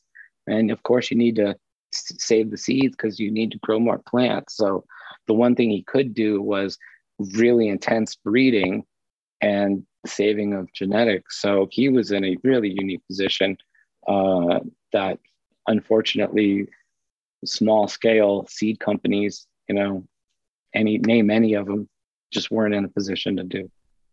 Yeah, a position few of us will probably ever be able to find ourselves in, sadly. I just wanted to bring you back for a moment to the Steve Murphy's Afghani, the purest indica. Did they ever have a cutting they kept, or they just used the seeds every year? And as a follow up, what type of Afghani do you think it is? Do you think it was just like a, a hash plant or like more akin to Afghani number one? Um, Afghani number one, I got Afghani number one. You know, I sell Mel Frank's seeds. Mel Frank is 77 years old now. We've been friends for since 96. I met him at Positronics in Amsterdam one day when he was walking through and he was complimenting some plants, and I was the one that was growing the plants. Um, and we got to talking and it was just a really good connection and we became friends. We, are best friends to this day. And um, the Afghan number one is okay. Uh, it's not. Uh, the Northern Lights Purist Indica is really uh, exceptional, and the the Afghani number one has, in my opinion, some more tropical influence in it. It's not pure Afghan like the Purist Indica is, and uh, it's it's okay. Um, it, it, you know, maybe I'm really sticky too, though, because like, you know, like, uh, you know, when you have one thing and you think it's great, it's because sometimes you don't have things to compare it to. And then when I had other thing, I, I when I had Afghan one initially, I thought it was great, you know, but then I got all these Northern Lights plants and these Afghans, the Purest Indica from Greg, and I thought, whoa, that's really incredible. So it changed my perspective of Afghani number one. Um, but you know, I, I'm going to sound like a jerk too, but I don't really like Durban poison. Um, I sell the seeds because it's authentic Durban poison and it has a, a real, it's got a great bud structure. It's super fast. It's got great resin.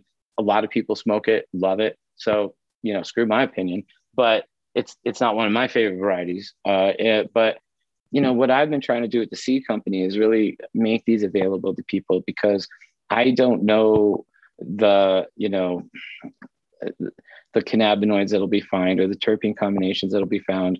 And i think there's still a lot to be found in these genetics. And i think all of the genetics are medically uh, useful.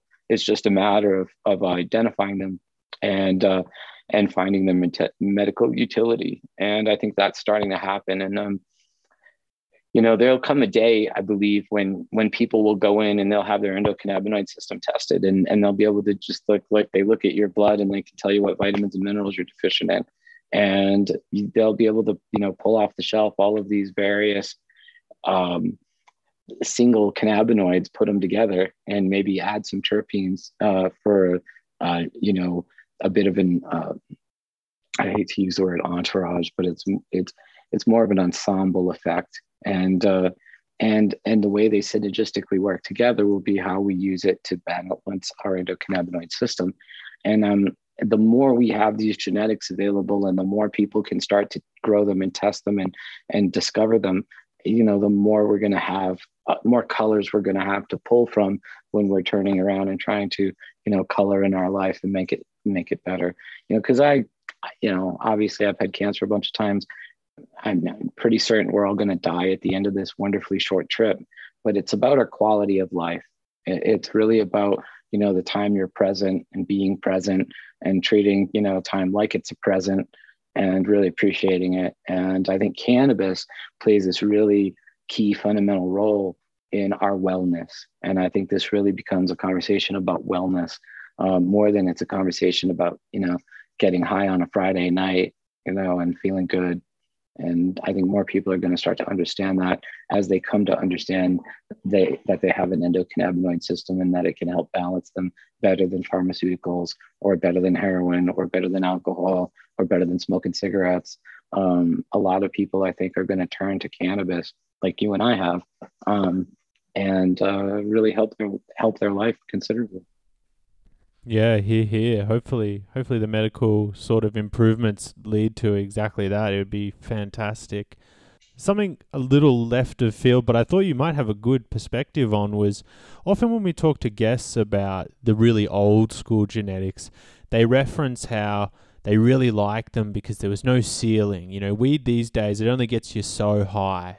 And I guess I'd be interested in hearing your thoughts on the ceiling effect and what it is. Like, how does it occur? Is it just do is it just land races have no ceiling, and when we hybridize things, they get ceilings? What's your thoughts? I get what they're saying. I mean, I've been sitting here for an hour and 32 minutes you, and I've only managed to smoke half a joint of this stuff. And it's a lot because with the haze, you feel it, you know, like you, you hit it and you feel it and you go put it down for a minute because you're like, self titration happens quickly when you're smoking this. And I, I get it. I mostly I feel like with the haze varieties that this that, that you can keep getting higher and higher and higher. But I feel like you end up doing what I'm doing, which is you hit it a little bit, and go, whoa, whoa, whoa, I'm doing an interview, I gotta keep my shit, and you end up putting it down. Um, I find half joints of haze all over my house all the time. And I think that's because I get really high and I put them down and then I get distracted and I am so high, I forget I leave the joint there. And um, I don't do that as much with uh, more of the modern varieties. Unfortunately, if I go to the store in California buy some pot, I'm not that impressed. And uh, I've been fortunate enough to be a cannabis cup uh, judge for High Times, for the Emerald Cup, uh, for the Secret Cup. I've been a photographer for them. Uh, for Chalice, I've been a judge. Uh, so I've had some exposure um, to cannabis. Unfortunately, a lot of the cannabis floating around California is quite homogenous and it's very similar there's not a lot of standouts. What they call haze isn't really haze.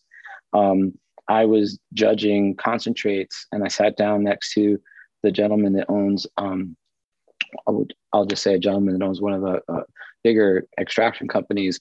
And um, he always gives me what a little jar, whatever he's smoking. And uh, I gave him mine and I had made some extract out of haze and he opened it and he smelled it and he was like, what is this? And I was like, that's original haze. Um, and he was just like, holy shit. And we were sent with maybe a hundred plus samples in front of us.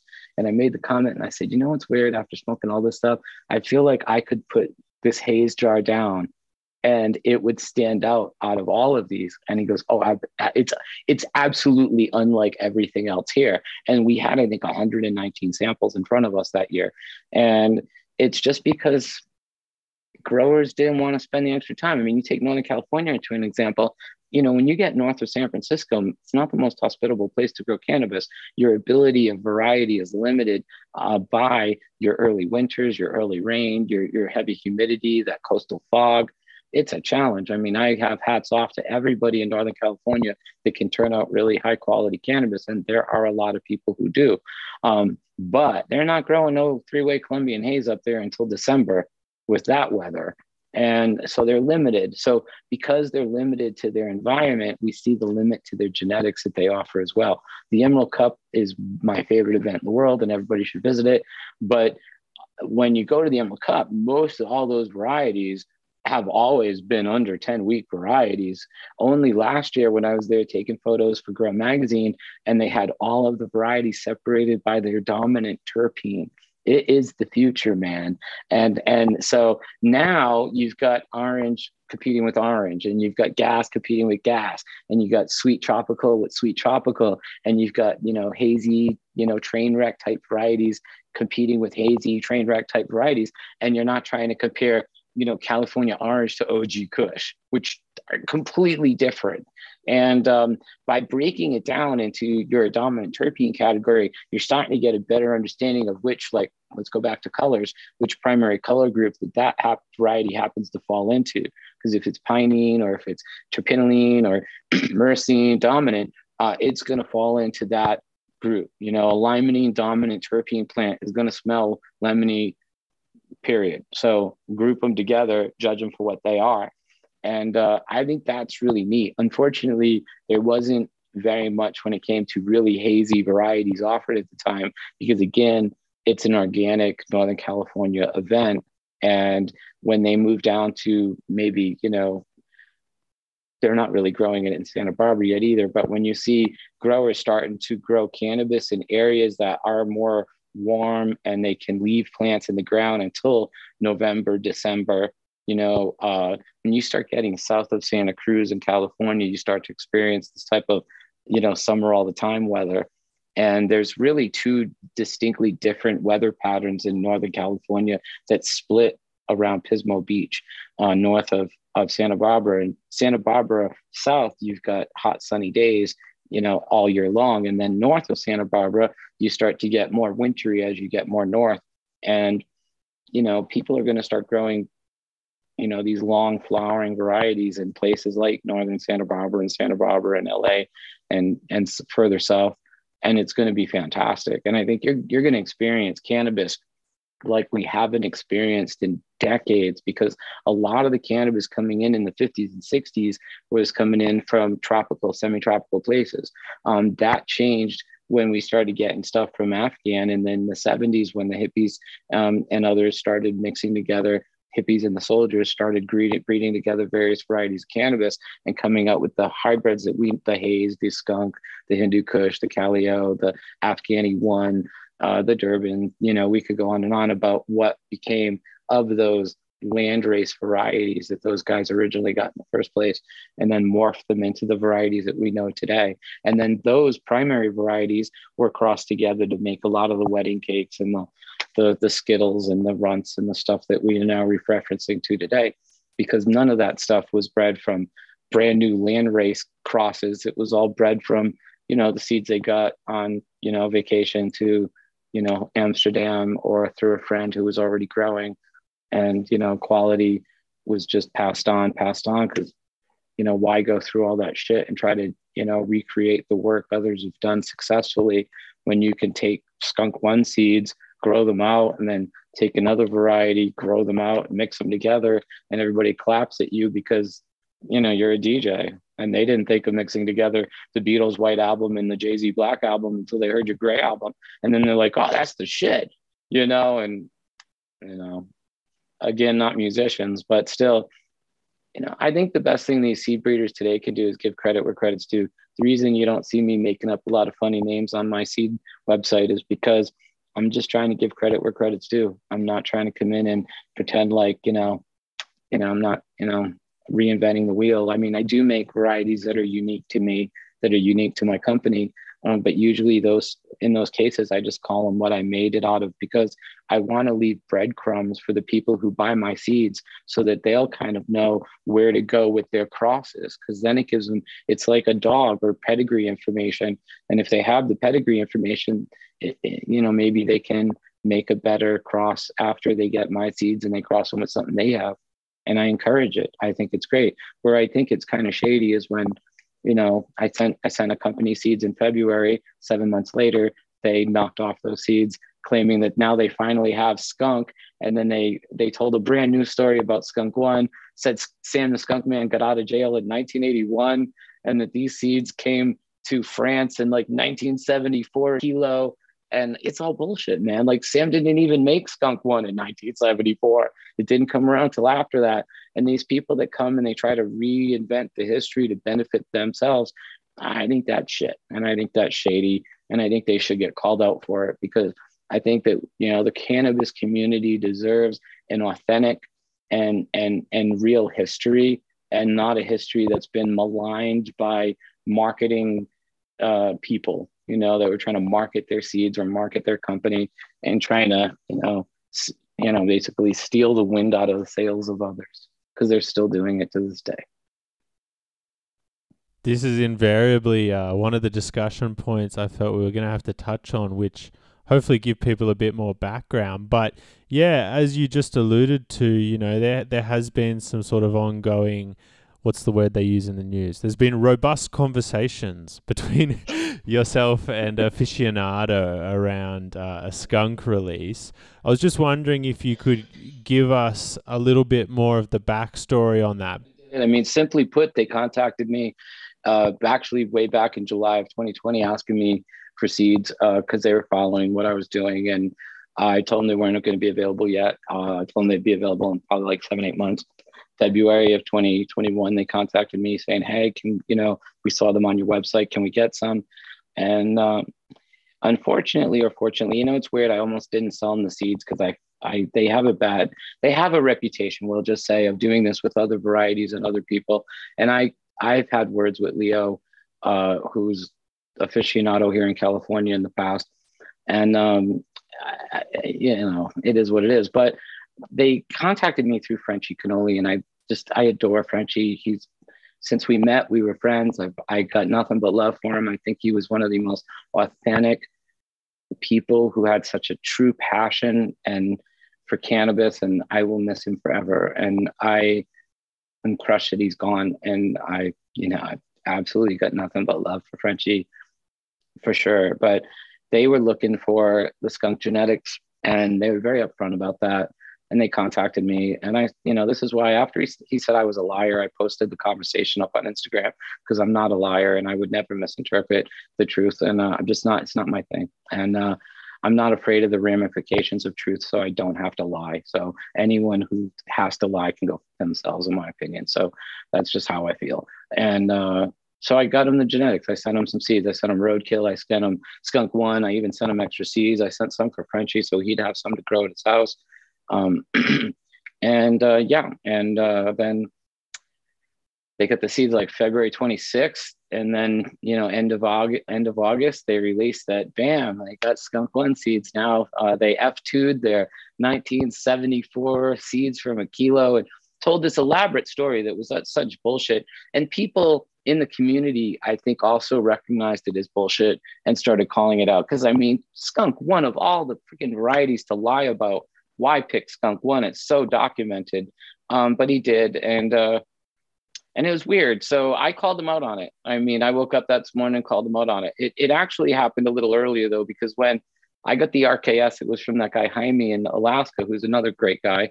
He's an old biker that's been growing forever in a day and um, people gave him nothing but shit for saying that he had roadkill skunk and uh, he sent it to me and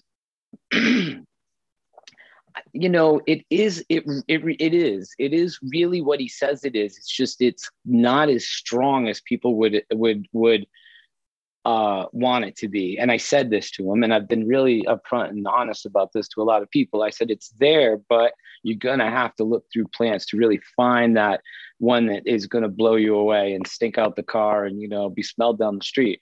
But you know since this conversation has started uh, you know i don't know how much you're into the thiols. So thiols are what I now believe are the cause of the skunk acrid smell in these plants. Humans can detect thiols in parts per trillion, and it makes it hard for machines to even be able to detect it in measurable amounts as well. So thiols are what I believe a lot of these Afghan varieties that smelled like urine and acrid dead flesh and and and skunks to Americans. Um, that's where a lot of this came from because when you talk to Robert Clarke, who is to me the foremost historian on cannabis in the world, um, a lot of the more tropical varieties have sweeter scents. And um, a lot of these more you know, lemony and, and citrusy and flowery tones we're getting are coming from the Acapulco Gold, the Colombians, the the Thais, the Mexicans, and such. Um, so these thiols are what I believe initially, when everybody started breeding with the Afghans, they all took on this heavy scent. But because the way humans work is that this is something that when we smell makes my our brain think, "Ooh, this is going bad. Avoid it." We slowly bred away from it and bred towards the sense that were more appealing, which were the fruity, flavorful, tasty dessert type. You know, when you walk, go for a walk down the street, you do not stick your nose in a pile of dog shit. You stick your nose in a rose. You you, you smell flowers, and and I think for cannabis cultivators, especially considering that that stench of shit would get them busted, they just all maybe subconsciously bred away from the thiols and moved towards the more aromatic plants. And um, I think that's what happened to cannabis. And I'm not even telling people this, but the purest indica, because I don't want to see their heads explode again, really smells like fucking skunk. I grew up, I'm in California. They get dead skunks on my street. My dogs come home skunk sometimes. I've lived with skunks since I was a little kid. We have them in New England. Um, funny enough, though, they're only North American animals. There are no skunks in Europe. None of them. And none of my, this is what weirded me out when guys like Ben were like, oh, I called it skunk. I was like, Ben, you've never visited America. How have you? I asked, have you ever seen a skunk outside of Pepe Le Pew? Like, you mean in person? Yeah. Do you even have them at your zoos? Hmm. No, I don't think we do. Mm-mm. Okay. So, how would you know what a skunk smells like? And if you smelled a plant that smelled nasty, like in the UK, they refer to it as cheese because if you go to the UK and you smell that nasty ass shit that they can eat, and that, nasty ass, they, they call it cheese. They wouldn't call it a skunk because they don't have skunks in England. So they wouldn't call it something they don't have in the Netherlands either. So it makes sense to an American when you smell it, it smells like shit, smells like that skunk, smells like acrid, rancid, nasty, which also contains thiols in the skunk spray. So the relationship to me makes sense. And these, you know, the skunk one seeds that I currently have, have only been reproduced twice since the 1980s. Skunk Man Sam gave them to Mel Frank in 1988. He put them in the refrigerator until 1996 and then reproduced them in 96. Put those reproductions in the refrigerator and left them there until he took them out in 2019 and gave them to me. I started growing them out and realized, fuck, these things all still smell acrid. It, they don't smell sweet. So I did a selection of the most acrid plants, filled my greenhouse, reproduced the seeds. Um, they came out great. People have been loving them. Um, the people who don't grow them hate on me and say I don't really have skunk, and the people who do grow them love them and say that they that skunk doesn't even skunk smells sweeter than these plants. One guy said, you know. So and I get it though because these genetics are literally old. They're literally from the 80s. They're literally from way back when. And then I got the ones from Greg. They're from what he says from the earlier 80s. They still have these like thiols that are present. They still smell skunky to me. And I think that as we do more selections, that we are going to be able to bring the funk back in much of these Afghans if if we're looking for it. If we're breeding towards flavor and taste and you know trying to make dessert recipe type flavors we're obviously going to move away from thiols but if but if if people consciously do what I did, which was throw out all the sweet plants and breed together all the sticky plants, I think over time, just like we can manipulate uh, terpene levels and cannabinoid levels, we could manipulate thiol levels and raise them in future generations of plants and kind of bring it back, bring it back, bring it back a little bit at a time. So, um, yeah, it's been an interesting, uh, it's been an interesting journey because when I first released Haze, I had a lot of people saying, you don't really have haze. And I was like, fuck you. And then I released Skunk One and, oh, you really don't have skunk. Nobody has skunk. Uh, you know, and it was like, whatever. And fortunately now with Northern Lights, nobody's giving me a hard time, you know, but Greg is a little more uh, active on social media and it's a little different. But um, yeah, I had a lot of naysayers at first, and even Skunkman Sam's been on shows like Hash Church saying, "Yeah, Todd has my seeds. That's they're real," and you know, and I don't know why it's so hard for a lot of people to want to that don't want to believe that. You know, I mean, it's a little ridiculous. I actually saw like a disparaging comment by uh, what's the guy that got the uh, he got the Tom Hill Haze or whatever. He got the positronic seeds in 1996, and he brought him home. He made some seeds and he named the haze after himself. And I was living practically at Posy. I had fucking keys in my own office at Posy. And I grew out those seeds, and unfortunately, they weren't that great at the time. And, and he bought them and thinks they're awesome. And I think that's great. But then I saw him on one of the forums basically talking shit about he doesn't know what I have, but they can't be as good as what he had. And I'm thinking, really? I skipped over 10 years of Bernard's breeding and went right back to Skunk Man Sam and got the original haze seeds from him. And you think the ones that I got from Sam are not as good as the ones you picked up from Positronics on a trip to High Times, I just blows my mind. And I doubt, honestly, that Tom picked up thousands of original haze seeds at Positronics at the time because one, we didn't sell them in very big packages, and two, most of the people there were not buying thousands of seeds when they got there. And I have had thousands of original haze seeds to do my selections through, and I would tend to believe it's like a lottery ticket. The more lottery tickets you have, the more of a chance you have to win.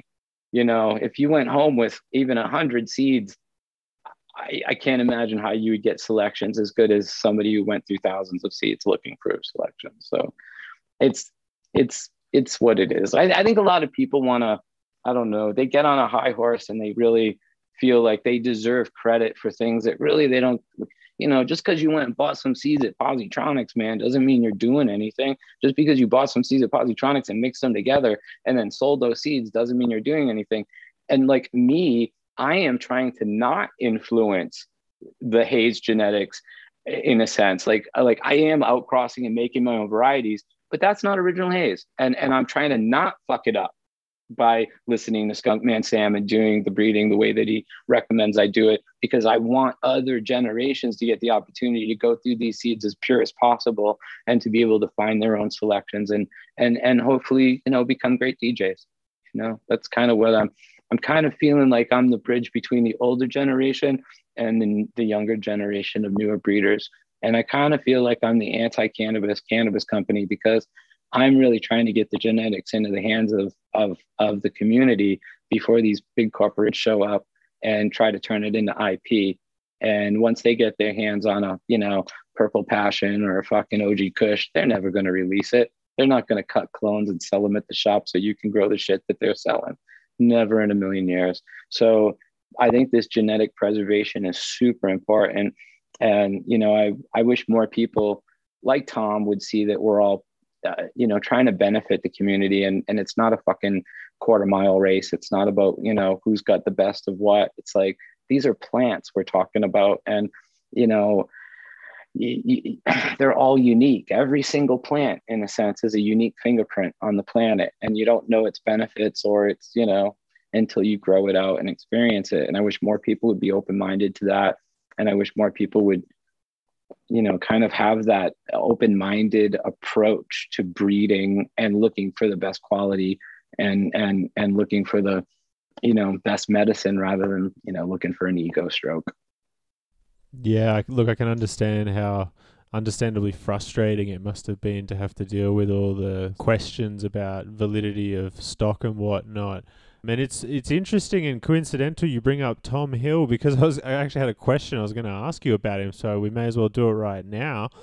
On the photos I've seen you post of uh, the purest indica, it looks obviously like Northern Lights, but it also kind of reminded me a bit of Deep Chunk with the way like that resin's so thick, like you can tell like this has got some serious Afghan hash plant type vibes to it. Have you ever grown out any of Tom's lines, like specifically the Deep Chunk? I mean, it's not really his lines; they're just land races. But um, what's your thoughts? I don't think they are land races. I mean, just because you bought some seeds from Positronics doesn't mean you're working with land races. And uh, you know, the the thing is, is these Afghan genetics are dominant in a lot of this stuff. I mean, Neville did a lot with Northern Lights number two. Northern Lights number two is one of my favorites right now. It's so OG Kush, it's crazy. Uh, I asked Greg years ago if he ever smoked OG Kush, and he said to me, he said, "Yeah, yeah, yeah, it's just NL2." He made a joke. He said, "Todd, we used to grow the NL5 and sell it, and we used to grow the NL2 and smoke it." And I thought, oh, that's hilarious, man. And, uh, you know, and it's because the NL2 was funky and heavy and fucking, you know, dank as fuck. But then the NL5 was more of that tropical kind of like, kind of light high, you know, better yielding and shit like that. So quicker growing because it had a little more of the more tropical equatorial genetics in it. And uh, I got what he meant, you know, and, and, uh, you know, a lot of this stuff, uh, you know, Neville was a blessing, man. Neville spread the seeds around, and Neville got these genetics into the hands of many people that then was had an opportunity to breed with them. You know what Neville did it is was was a beautiful thing for the world, and uh, and he should always be rever- revered for that because it put the genetics into the hands of many people. Um, and I, I think it made a big difference in the in the overall quality of cannabis you know in all reality. By going through these selections and getting you know these like afghans and different things you know out so that you could mix it with your hazes and stuff it was just an absolute you know blessing to the world in the way you know not having to go through you know landrace Thai or landrace afghan or landrace anything you know to to start at the bottom and try to work your way back up. Sharing the genetics was like starting on you know the top floor after all these people had done selections and breeding and and made seeds and like every single time hopefully was an improvement. And, and that's why i think in a weird way that there was the first wave of breeding was all about quality. The second wave of breeding was all about quantity meaning either quantity of seeds or uh, the fastness and the the the the, the, the the amount of cannabis you'd get in a short amount of time because you know people wanted that. They wanted quick they wanted heavy. You know they really didn't they didn't ask you for the highest quality you know when you were selling seeds in holland. I mean everybody was like what's the fastest heaviest yielder you got? I was like okay you want big bud. But who the f- wants to smoke big bud? I mean i used to work for simon at serious seeds in the day uh, cleaning the seeds and stuff. And um, you know chronic was cool to grow but if there was chronic AK and Cali sitting in front of me, I smoke the Cali, then I smoke the AK, and I probably give away a little of chronic, but you know, like I, that would be the last of the pot to smoke, you know, because it was the least effective in my opinion, but it was the heaviest yielder we we offered. I mean, Big Bud, um, Big Big Bud wasn't the biggest winner of any of the cannabis cups I ever remember you know but a lot of people went over there trying to get big bud seeds because they wanted heavy, fast. You know, the, the prohibition market demanded it. You know, if you could turn over six crops a year in your house, uh, growing, you know, an eight week, or or you could turn, you know, four crops, or even worse, you know, two crops a year, growing something that was four to six months. What were you going to do? You know what I mean? It, the pure economics drove the conversation to where it was. So, you know, I the funny thing is i got i always hoped to meet tom hill actually when i when i was younger i you know uh, i had reverence for all these breeders that i heard of. You know i went to the cannabis cups. I used to enjoy meeting everybody. It wasn't a big you know who's got the highest thc game. It was just about making friends. Uh, so i was a little bummed when i saw him talking crap but and uh, I, i'm sure he has good genetics. I'm sure he's done good selections. I'm sure he's put out some good stuff you know, if I had the opportunity to smoke weed that he grew, I'd be happy about it. I would love to try some of Tom Hill's haze and stuff, especially because I've been able to get original haze from Skunkman Sam and grow it. And I've because I've had great cuttings of Another of Neville's haze and smoked and loved it because I worked at Posy and was growing fucking haze for the whole year of 1996 and and trying to go through different varieties to figure out which ones I like best. Uh, I have a lot of experience with it, and I would love to see you know his secondary color and what he's made with it i think it would be cool you know but i don't know. Personally i would rather have the seeds that you know sam keeps for himself and doesn't sell to anybody than the seeds you can buy at positronics. So personal preference of course. I think i'm there with you. Don't worry. And i mean you, you touched on og in that answer and I guess I'd be interested to hear a little more about your thoughts on OG in general. Is it a strain you like? Like, would you ever grow it and smoke it, or do you feel like it's just superseded by the NL? Uh, you'll laugh, but when I got out of prison in 2004, I didn't have any money, kind of in debt and everything. And uh, my friends at grew OG Kush gave me back because I kind of had it before I went to prison too. Uh, they shared the clone with me prior to prison, but I can't. I wasn't really talking about that and I won't say who gave it to me. But then when I got out of prison again, um, it was offered back to me again in 2004. And I, when I got out of prison, started uh, Select Strains, which was a little nursery, and what is on the cover, but OG Kush. And uh, it was my number one cutting, Sensi Star, Super Silver Haze, Romulan Purple, M39. Um, and uh, I sold the shit out of them. I think I was the very first person to sell OG Kush cuttings in LA starting at the end of uh, uh, 2004, November, December, probably December 2004 was my first sale of OG Kush cuttings. And um, maybe a little later, maybe January, but not much later after Christmas. Um, around that time, the guy that offered it to me, uh, I inquired to my friend who gave it to me, and I went to him and said, "Hey, may I sell cuttings of this?" Because again, I just didn't want to be an asshole. And um, he came back to me, said, "Todd, the person who wanted you to have it died, and I don't think it matters. You can do whatever you want with it, you know." And I was like, "Whoa, bro!" And I didn't realize that. And uh, then years and years later, um, Adam Dunn had a show that he was doing, uh, and he was telling this. He was letting people tell this real bullshit story about the origin of OG Kush, and unfortunately, had this guy that was someone I knew and that snitched on me. He was one of the government informants in my case. His name was Dave, and uh, I've known Adam since '94, and we're friends. And uh, Adam is from the East Coast. We both grew up a little bit in Rhode Island. We're both kind of smart asses. And um, while the guy was talking, Adam uh, joked with them that, oh, you should have just went to the cops and told them that you only grew it at one house and not all these other houses. And the dumb son of a bitch said, I did. I went to the DEA and told them I was only growing here in Laurel Canyon and not to charge me with all these other houses.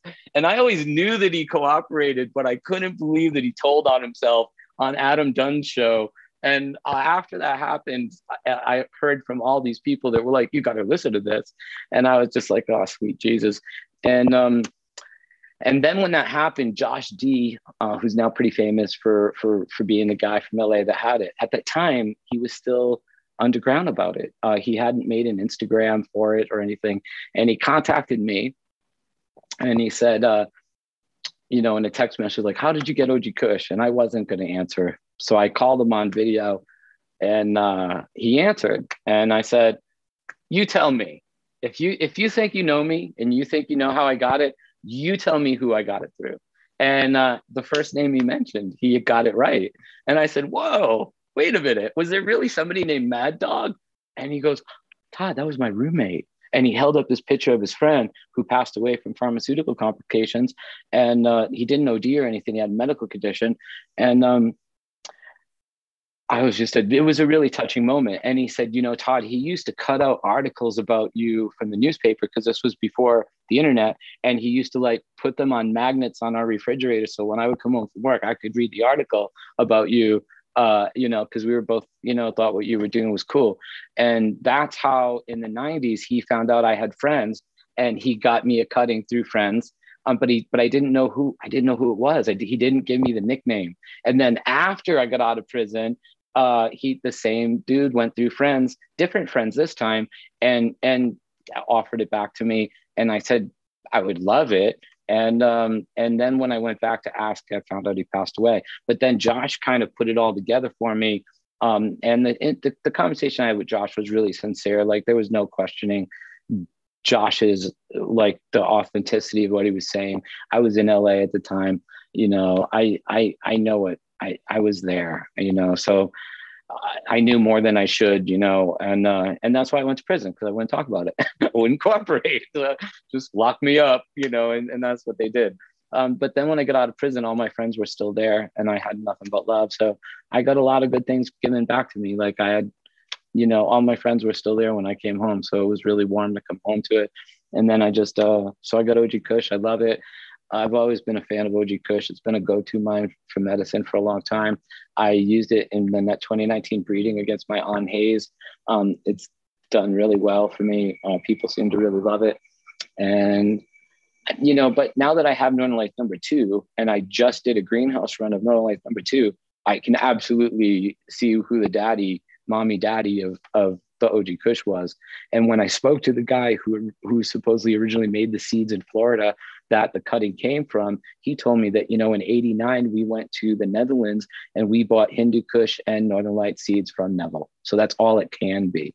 Because when I talked to him, I said, man, I think it's Northern Lights. Because I remembered, so my first experience with Northern with with OG Kush was in 1997 when I came back from Amsterdam. And when I smoked it in January of 97, I was like, oh, this is Northern Lights because I had just come back from hanging out with Alan Dronkers and going to the castle in 96 and, and being there smoking Northern Lights varieties that they had, stuff that they breed with, stuff that, you know, the stuff that they grow. So, so I got to smoke a lot of different shit with Alan. Alan's a real pothead. Alan loves to smoke, loves his hash. He's, he's, he's really into it, you know? So we used to get high I've I've had the opportunity of sleeping over at the castle and you know getting high with Alan all night long and smoking the stuff that was in the basement. So I I feel like I've I'm very fortunate to have the experience that I've had with you know the cannabis that I've been around. So when I got here and smoked it, I just thought it was Northern Lights. And then when I asked Greg about it, he kind of reinforced that yeah, this is just Northern Lights. And um, now that I've grown it,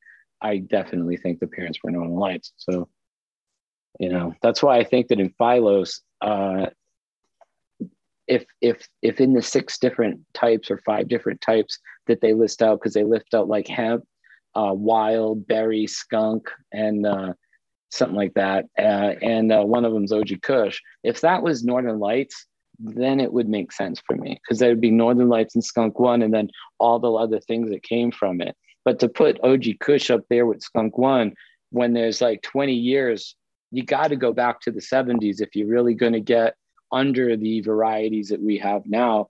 And those don't go to OG Kush; they go back to this Steve Murphy Purist Indica. Um, and I don't know if you have you seen the book I'm talking about. Have you seen the picture? I mean, yeah, yeah, yeah, yeah. So and and I think the genetics don't lie. When you look at the photo and you look at the the 1975 photo, it's like freaking twins. Yeah, hundred percent. Yeah, it looks it looks the same. I definitely agree with that. I guess my mind then asks the question I'm not sure how familiar you are in terms of growing out the different chemdog varieties, but the same sort of question often lingers around chemdog. Do you think there's NL in that? Yeah, for sure, 100%. I've often thought chem, like Chem 91, they call it, and OG Kush are closely related without question. I've also grown grown stuff that came from the hog farm, uh, the Wavy Gravy, Northern California, and uh, it was very uh, Northern Lights as well. To me, Northern Lights has been Northern Lights number two is the is the mystery between Afghan and uh, because it was an Afghan. When I asked him what Northern Lights number two was, he said it was mixed with um, the Afghans that they got from uh, Oregon and California. And when he said and California, it made me think, okay, this makes more sense because if you have zero mixed with like a California or Oregon Afghan, and then you take Z, you know number one because that becomes number one, and then you mix that with a California uh, Afghan or Oregon Afghan, you get NL number two. You're still pretty close to that purist indica. And as they were bumping up, um, that's where you know in his in greg's opinion it was simply growth characteristics. The leaves became narrower the plants became taller the finishing times grew longer. So he just numbered them from closest to murphy Af- murphy's afghan to the most tropical ones that he had. And when you think about it it makes sense why none of the numbers over five really became popular to neville because neville once he got those male hazes everything was with the male hazes. It's as if nothing he didn't he he didn't have any other haze plants to use. He says he had a female, but he says he killed it because it wasn't that good. So I don't I don't believe he actually had it to be really honest with you. Um, but it, it it doesn't matter. At the end of the conversation, he, he stated many times that he only had two males, um, and I, I just think that that's why, in a sense, you get just a limited amount of secondary colors from what he could do with that primary color. Because if that those haze males were his primaries, it, it, would have a good signature on every other color he mixed it with. You know, you know, just to use an analogy that people that maybe don't breed can easily understand. Yeah, no, look, I, I agree with you. I think if he had a female, he would have definitely made F2s and hunted through them, and we would have heard about it. But interesting nonetheless. Look, we've been having so much fun. We skipped over the question we normally jump back to it around like 15 minutes in, but we ask everyone, what was your first experience with cannabis? Um, I was sick. I was, my mom was a hippie and I was going through chemotherapy and radiation. And I have a big scar on the side of my body from, uh, I had a tumor between my left lung and my heart. For the first time, I had it in soft tissue only it was inside a bone marrow and it would break my bone. My, my spine is fused. I had three locations in my skull. I had two more in my right ear. I had two locations in my left hip. I was in a wheelchair for over six months when I was a little kid. And then after all that, I got it again in between my left lung and my heart. And my mom had read in Good Housekeeping that uh, cannabis was being used for cancer patients. and she inquired with my pediatrician, and he felt like, man, you have nothing to lose, Ann. So uh, she, being a hippie, already had weed. And when we drove home that day, um, she had me slip down. I was only nine years old. She had me slip down into like the front seat of the car, and she had the air conditioning on. And she gave me a joint, and she told me to like, uh, she told me to sip it like it was a straw. And uh, so I got down in the little thing, and I was I was sipping it like it was a straw and I started giggling and and feeling pretty good. And mind you, I just went through chemo. I just not only went through chemo, that I went through radiation therapy because I was getting chemical therapy, and then they were sending me to radiation. So it really sucked. And um, when we got home that day, I uh, I wanted spinach. I was a big Popeye fan, and I wanted like uh, sautéed spinach and butter. And um, my mom was high and thought, "Whoa, what I do to my kid?" You know, and uh, she called my pediatrician, and he said, "You know, feed him. You know, and uh, tomorrow don't give him any and see if it's different." So the next day we drove home, and it sucked. And I got home and I was being sick. I was up in my room, fucking crying and puking and having a fucking moment. And uh, she came up with a joint and said, "Hey, sip it like it's a straw. Let's try this again."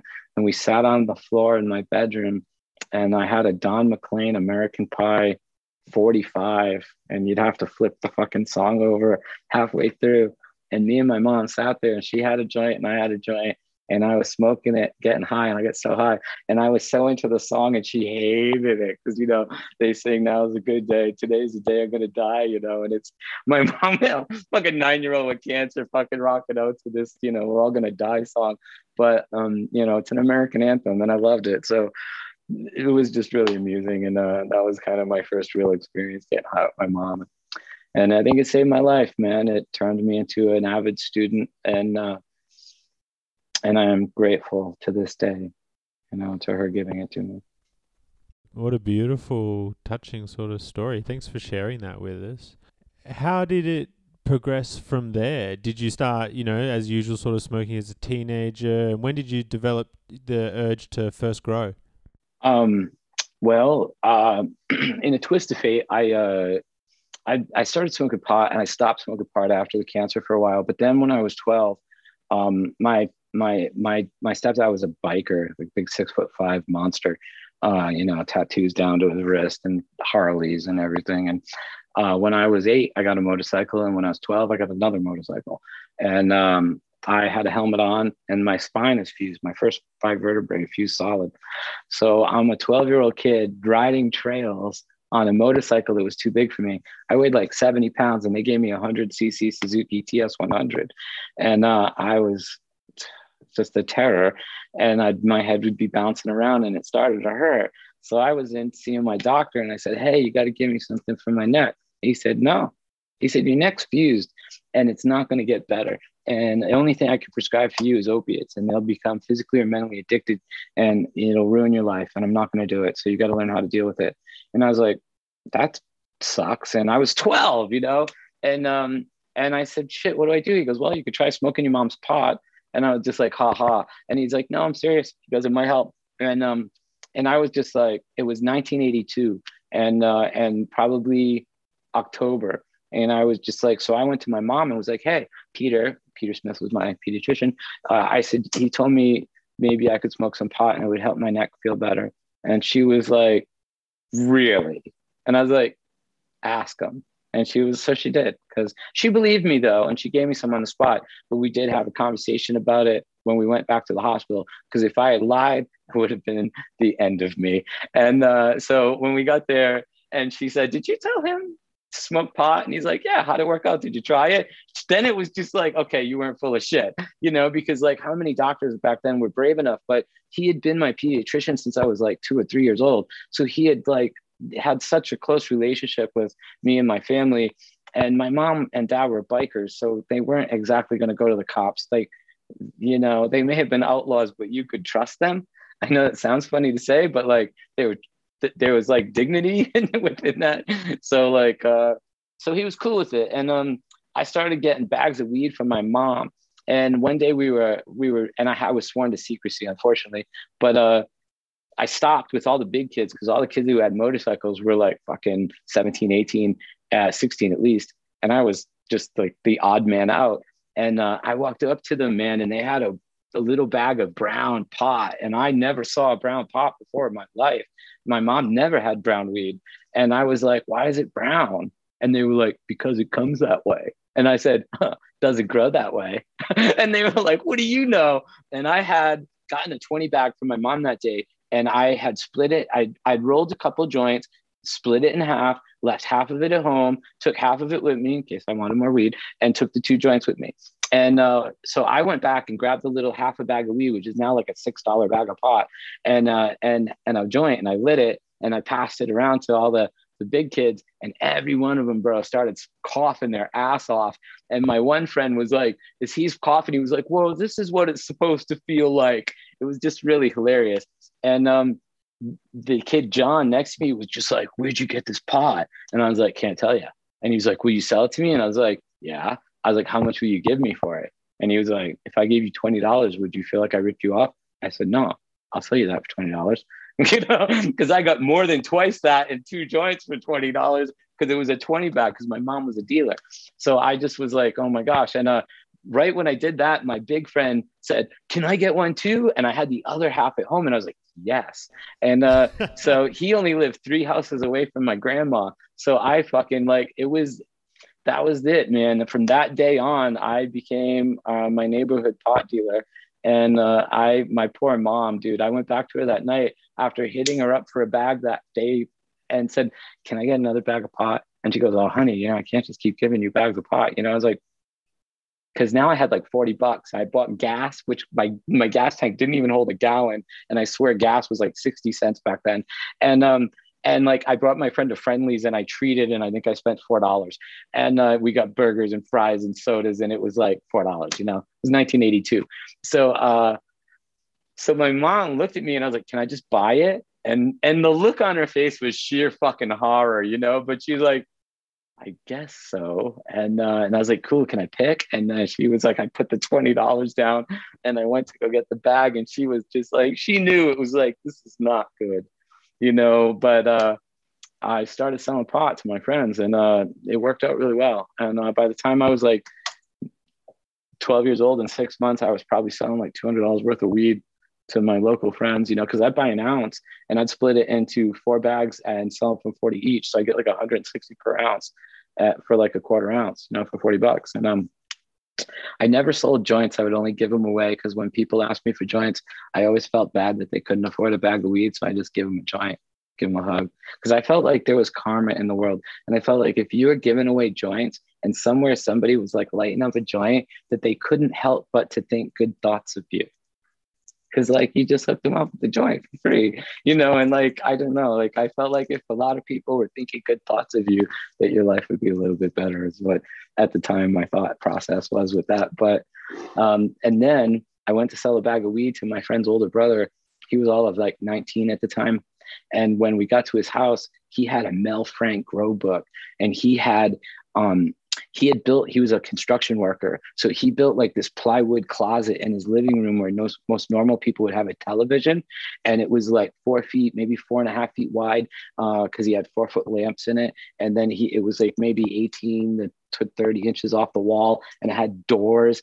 And when he opened it and i saw plants there growing with the fluorescent light it was like the color version of the you know that fucking um the Emerald Brick Road, uh, the Wizard of Oz, like where they show color for the first time. But like my whole life changed. It was I was fucking floored, man. And uh, I traded him the twenty dollar bag of weed for that Mel Frank grow book. And I went home. I cleaned out my closet. I already had seeds. I found the pots the the clothing lines that I used to hang the lights. I found the fluorescent light. I found the timer. All it was all my grandma's. My grandmother had the light in the basement, the timer in the front window. She had the pots in the soil out in the shed where she used to keep her pots and her soil and her watering can. And I fucking, dude, it worked. It worked so good. And I grew pot for like a year until my grandma caught me. And when she caught me, it was fucking cute as fuck because she came up like I used to have my light cycle eight to eight. So when I was at school, it'd be dark. And uh, so she comes up at like 7:59 and 55 seconds, and the lights glowing in the closet. And she goes to touch me, and the timer clicked off. And she freaking loses it saying, Someone's in your closet, someone's in your closet. And I'm like, Nobody's in my closet. And she was like, Show me. So she pushes me towards the closet and I slide it open and I reach down. And as soon as I click the timer, she heard the sound of it. She goes, Hey, that's my timer. And then the lights flickered on and she goes, Those are my fluorescent lights. And she looks down and I had like these cool clay plot pots of hers. And she's like, Those are my pots. That's my watering can. And I was like, Graham, the only thing I had to go buy was the was the potting, was the fertilizer. And I've been dying to tell you why all of your house plants are dying. It's because you're not fertilizing them. And she was just like, What? And the plants were like six feet high because I didn't know what I was doing. I was just raising the light as they would grow. And they she was like four foot eleven. She's Italian. And she like looks at this and she's like, they were bigger than her, man, and they were in bud, and the leaves were huge. And she was like, "Do you bring these outside?" I said, "No." She goes, "They grow under these fluorescent lights." I was like, "Yeah." I was really surprised myself, and she was like, couldn't believe I did it. You know, like she just couldn't and she couldn't. She like because they were clearly had been there for a long time, and um. I left that day with the deal that she wouldn't hurt my plants while I was in school. And then I came home and I was like, yo, what's up you know and uh, she said i think they need more room and i was like oh so she let me put them downstairs she had me lay down a pallet put my pots on the pallet so they wouldn't be on the concrete and then she let me use some of her old drapes that had white vinyl on the inside and i hung it to the exposed wood and i hung a fan up top and i had my fluorescent lights there and she started watering the plants when she would do the wash and then they finished and i had my first growers dispute ever because I like one in the morning, I'm all stoned. And I can cut the plants down. And the next morning I go down there and my grandma's mad and she's in the kitchen and I'm like, what's the matter? She goes, what did you do to those plants? I said, oh, I harvested them. She goes, you killed them? I said, well, that's what you do. You kill them, you know? She goes, where are they now? I said, they're hanging upstairs in my bedroom. She goes, you just killed them? And I said, yeah. And she goes, well, what do you do now? I said, I plant some more seeds. She said, and start all over? And I said, Yeah. And she was like, Oh God, Todd, I can't, you should have left a little bit. She goes, I've been taking care of him. And I was like, and I realized at that moment how attached she had come to him. And I felt so bad. And uh, it was really cute. And uh, after that, I, I did my first cutting in the kitchen with my grandma. Uh, we actually put it in a napkin with uh, powder, like Hormex. I still use it to this day, number eight. Uh, it had been around since she was younger. And um, I put in rooting powder, put it in a napkin, and we had it like in a little, like, in a little, she had saucers for her tea, and she would put a little water in the saucer and left it right there. And the fucking roots grew right through the paper towel. And and and it was neat and and that's when i started doing cuttings way back way back in 1984 with my grandma and uh it was really cool, honestly. And uh, I, I, other than going to prison, I've never stopped growing since. Wow, what a fantastic, like, real organic sort of story. That's so cool. You and your grandma grew together. I love it. Yeah, it's really funny. She took my Pringles can because I used to have these, uh, they like chips that come in America called Pringles, and they they come in a can. They they're very much like this thing. So your chips are all like perfectly formed and they don't get crushed. And uh, it was really funny because I had Pringles cans full of seeds. Because when I get pot with seeds, I would take the seeds out and just sell the weed to my friends because they didn't want seeds and it didn't look good in my bags. So I collected all these seeds. And uh, she she snatched one of my Pringles cans and she had a garden outside of her window where she'd have roses grow up and then she'd prune all the roses so they all came just to the height of her window. So when she'd open her window, it'd be all roses. It was really cool. She was like really good at gardening you know, but you have to realize she was born in 1911 and her big like technological advancement when she was a little girl was her house got electricity. So just to put it in perspective, and she grew she grew her food in the backyard, and they they they had to understand food preservation, and uh, you know, cultivation was a part of human existence to her. So she's the one who taught me how to grow a garden in our backyard, and um, and she's really where all of this came from. And I I will give her credit forever for turning me on to this. It was really cool of her. And, uh, but, uh, but she took my Pringles can and uh, turned the ground and then sprinkled this, these cannabis seeds like broadcast style all there. And I'm in the backyard selling my friend a bag of weed. He goes, dude, you're going to get caught. And I went, like I thought he meant selling him the bag of weed. And I was like, what are you talking about? And he goes, dude, all these plants. And I looked down and they were all like knee high because as they grew up, my grandmother would take her hedger and just snip them like you know with the hedger snip snip snip snip snip so she had a little like it was probably a hundred something little plants but or more but it was like it looked like a little green hedge you know because she was just like she did her roses and I was just, I went inside and I was like, Grandma, what are you doing? And she's like, Don't you touch those. Those are mine. And I was like, Grandma, you're going to get us in trouble. I was like, You can't just be growing. You can't do this. She's like, Why? And I was like, Grandma, it's illegal. She goes, A plant? And I was like, hmm, this is going to be kind of hard to explain, I think, you know, because she just couldn't wrap her head around the idea that a plant was illegal. Like she was like, the drug's illegal, but the plant, like, what are you crazy? And I was like, oh. And uh, it was funny. And she did cut them down, but she was pissy about it. And um, it wasn't until I showed my mom and my stepdad, and and they all were like, Lena, you got to cut these plants down. And she was just like, oh, she, she was hot. She was just a cool old lady, but you know, it was pretty funny. I got my first traffic ticket when I was 12 years old, speeding. I was doing 70 on the sidewalk. I got arrested. They towed my motorcycle. And when they took me to the police station, they made me call my parents. And I lived with my grandma, so I called my grandma. And uh, she drove a 69 Pontiac Firebird with like a, souped up 350. It was Hugger Orange. My, my, my stepdad gave it to her because he thought that his mother in law driving a fast muscle car would be cool. So he gave her a fast muscle car. So I'm sitting in a police station. I'm 12, and and the cop hears the car pull up, blip, blip, blip, blip, blip, and he goes, Who'd you call? I said, Call my grandma. And he opens the door, and there's this little old lady standing in front of this fucking 60s muscle car. And he says, Is that your car? And she goes, You got a problem with that?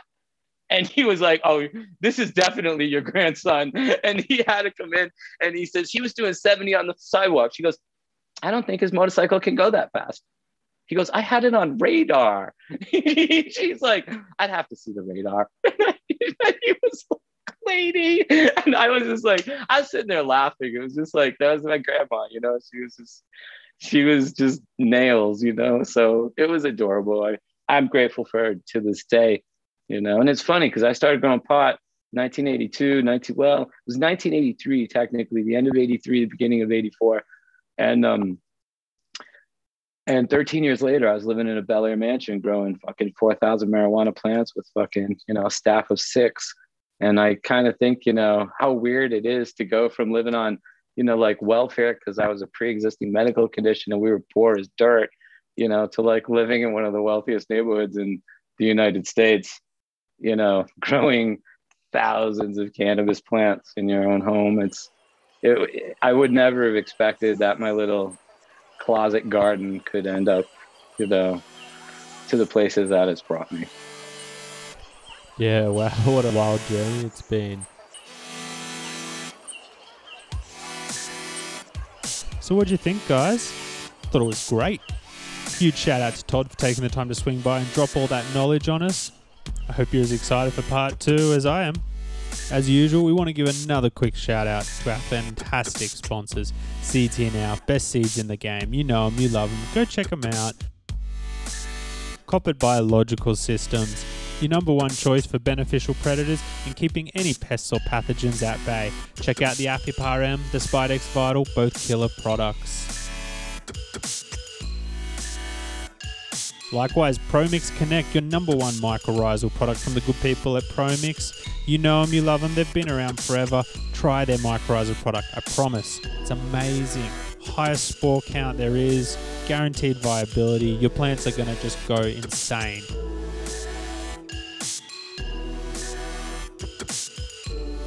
And last but not least, your buds at Charlie's Cannabis. Check them out. If you're in Oklahoma, there's no other choice. Simply the highest quality available. Exciting genetics, new phenos and new strains on the horizons always. Check them out. Our good buddies, veteran owned, in house produced. Charlie's your bud. Thank you so much, Charlie's Cannabis. Finally, a huge shout out to the Patreon gang. You are the lifeblood of the show. You guys help to ensure the episodes continue to be made. If you want early access to content, you want to hear unheard interviews, get access to exclusive giveaways, prizes, Discord, so much more, go check out the Patreon, www.patreon.com forward slash the potcast.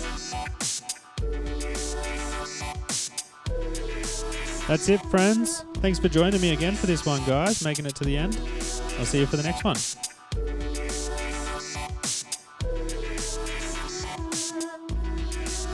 See you.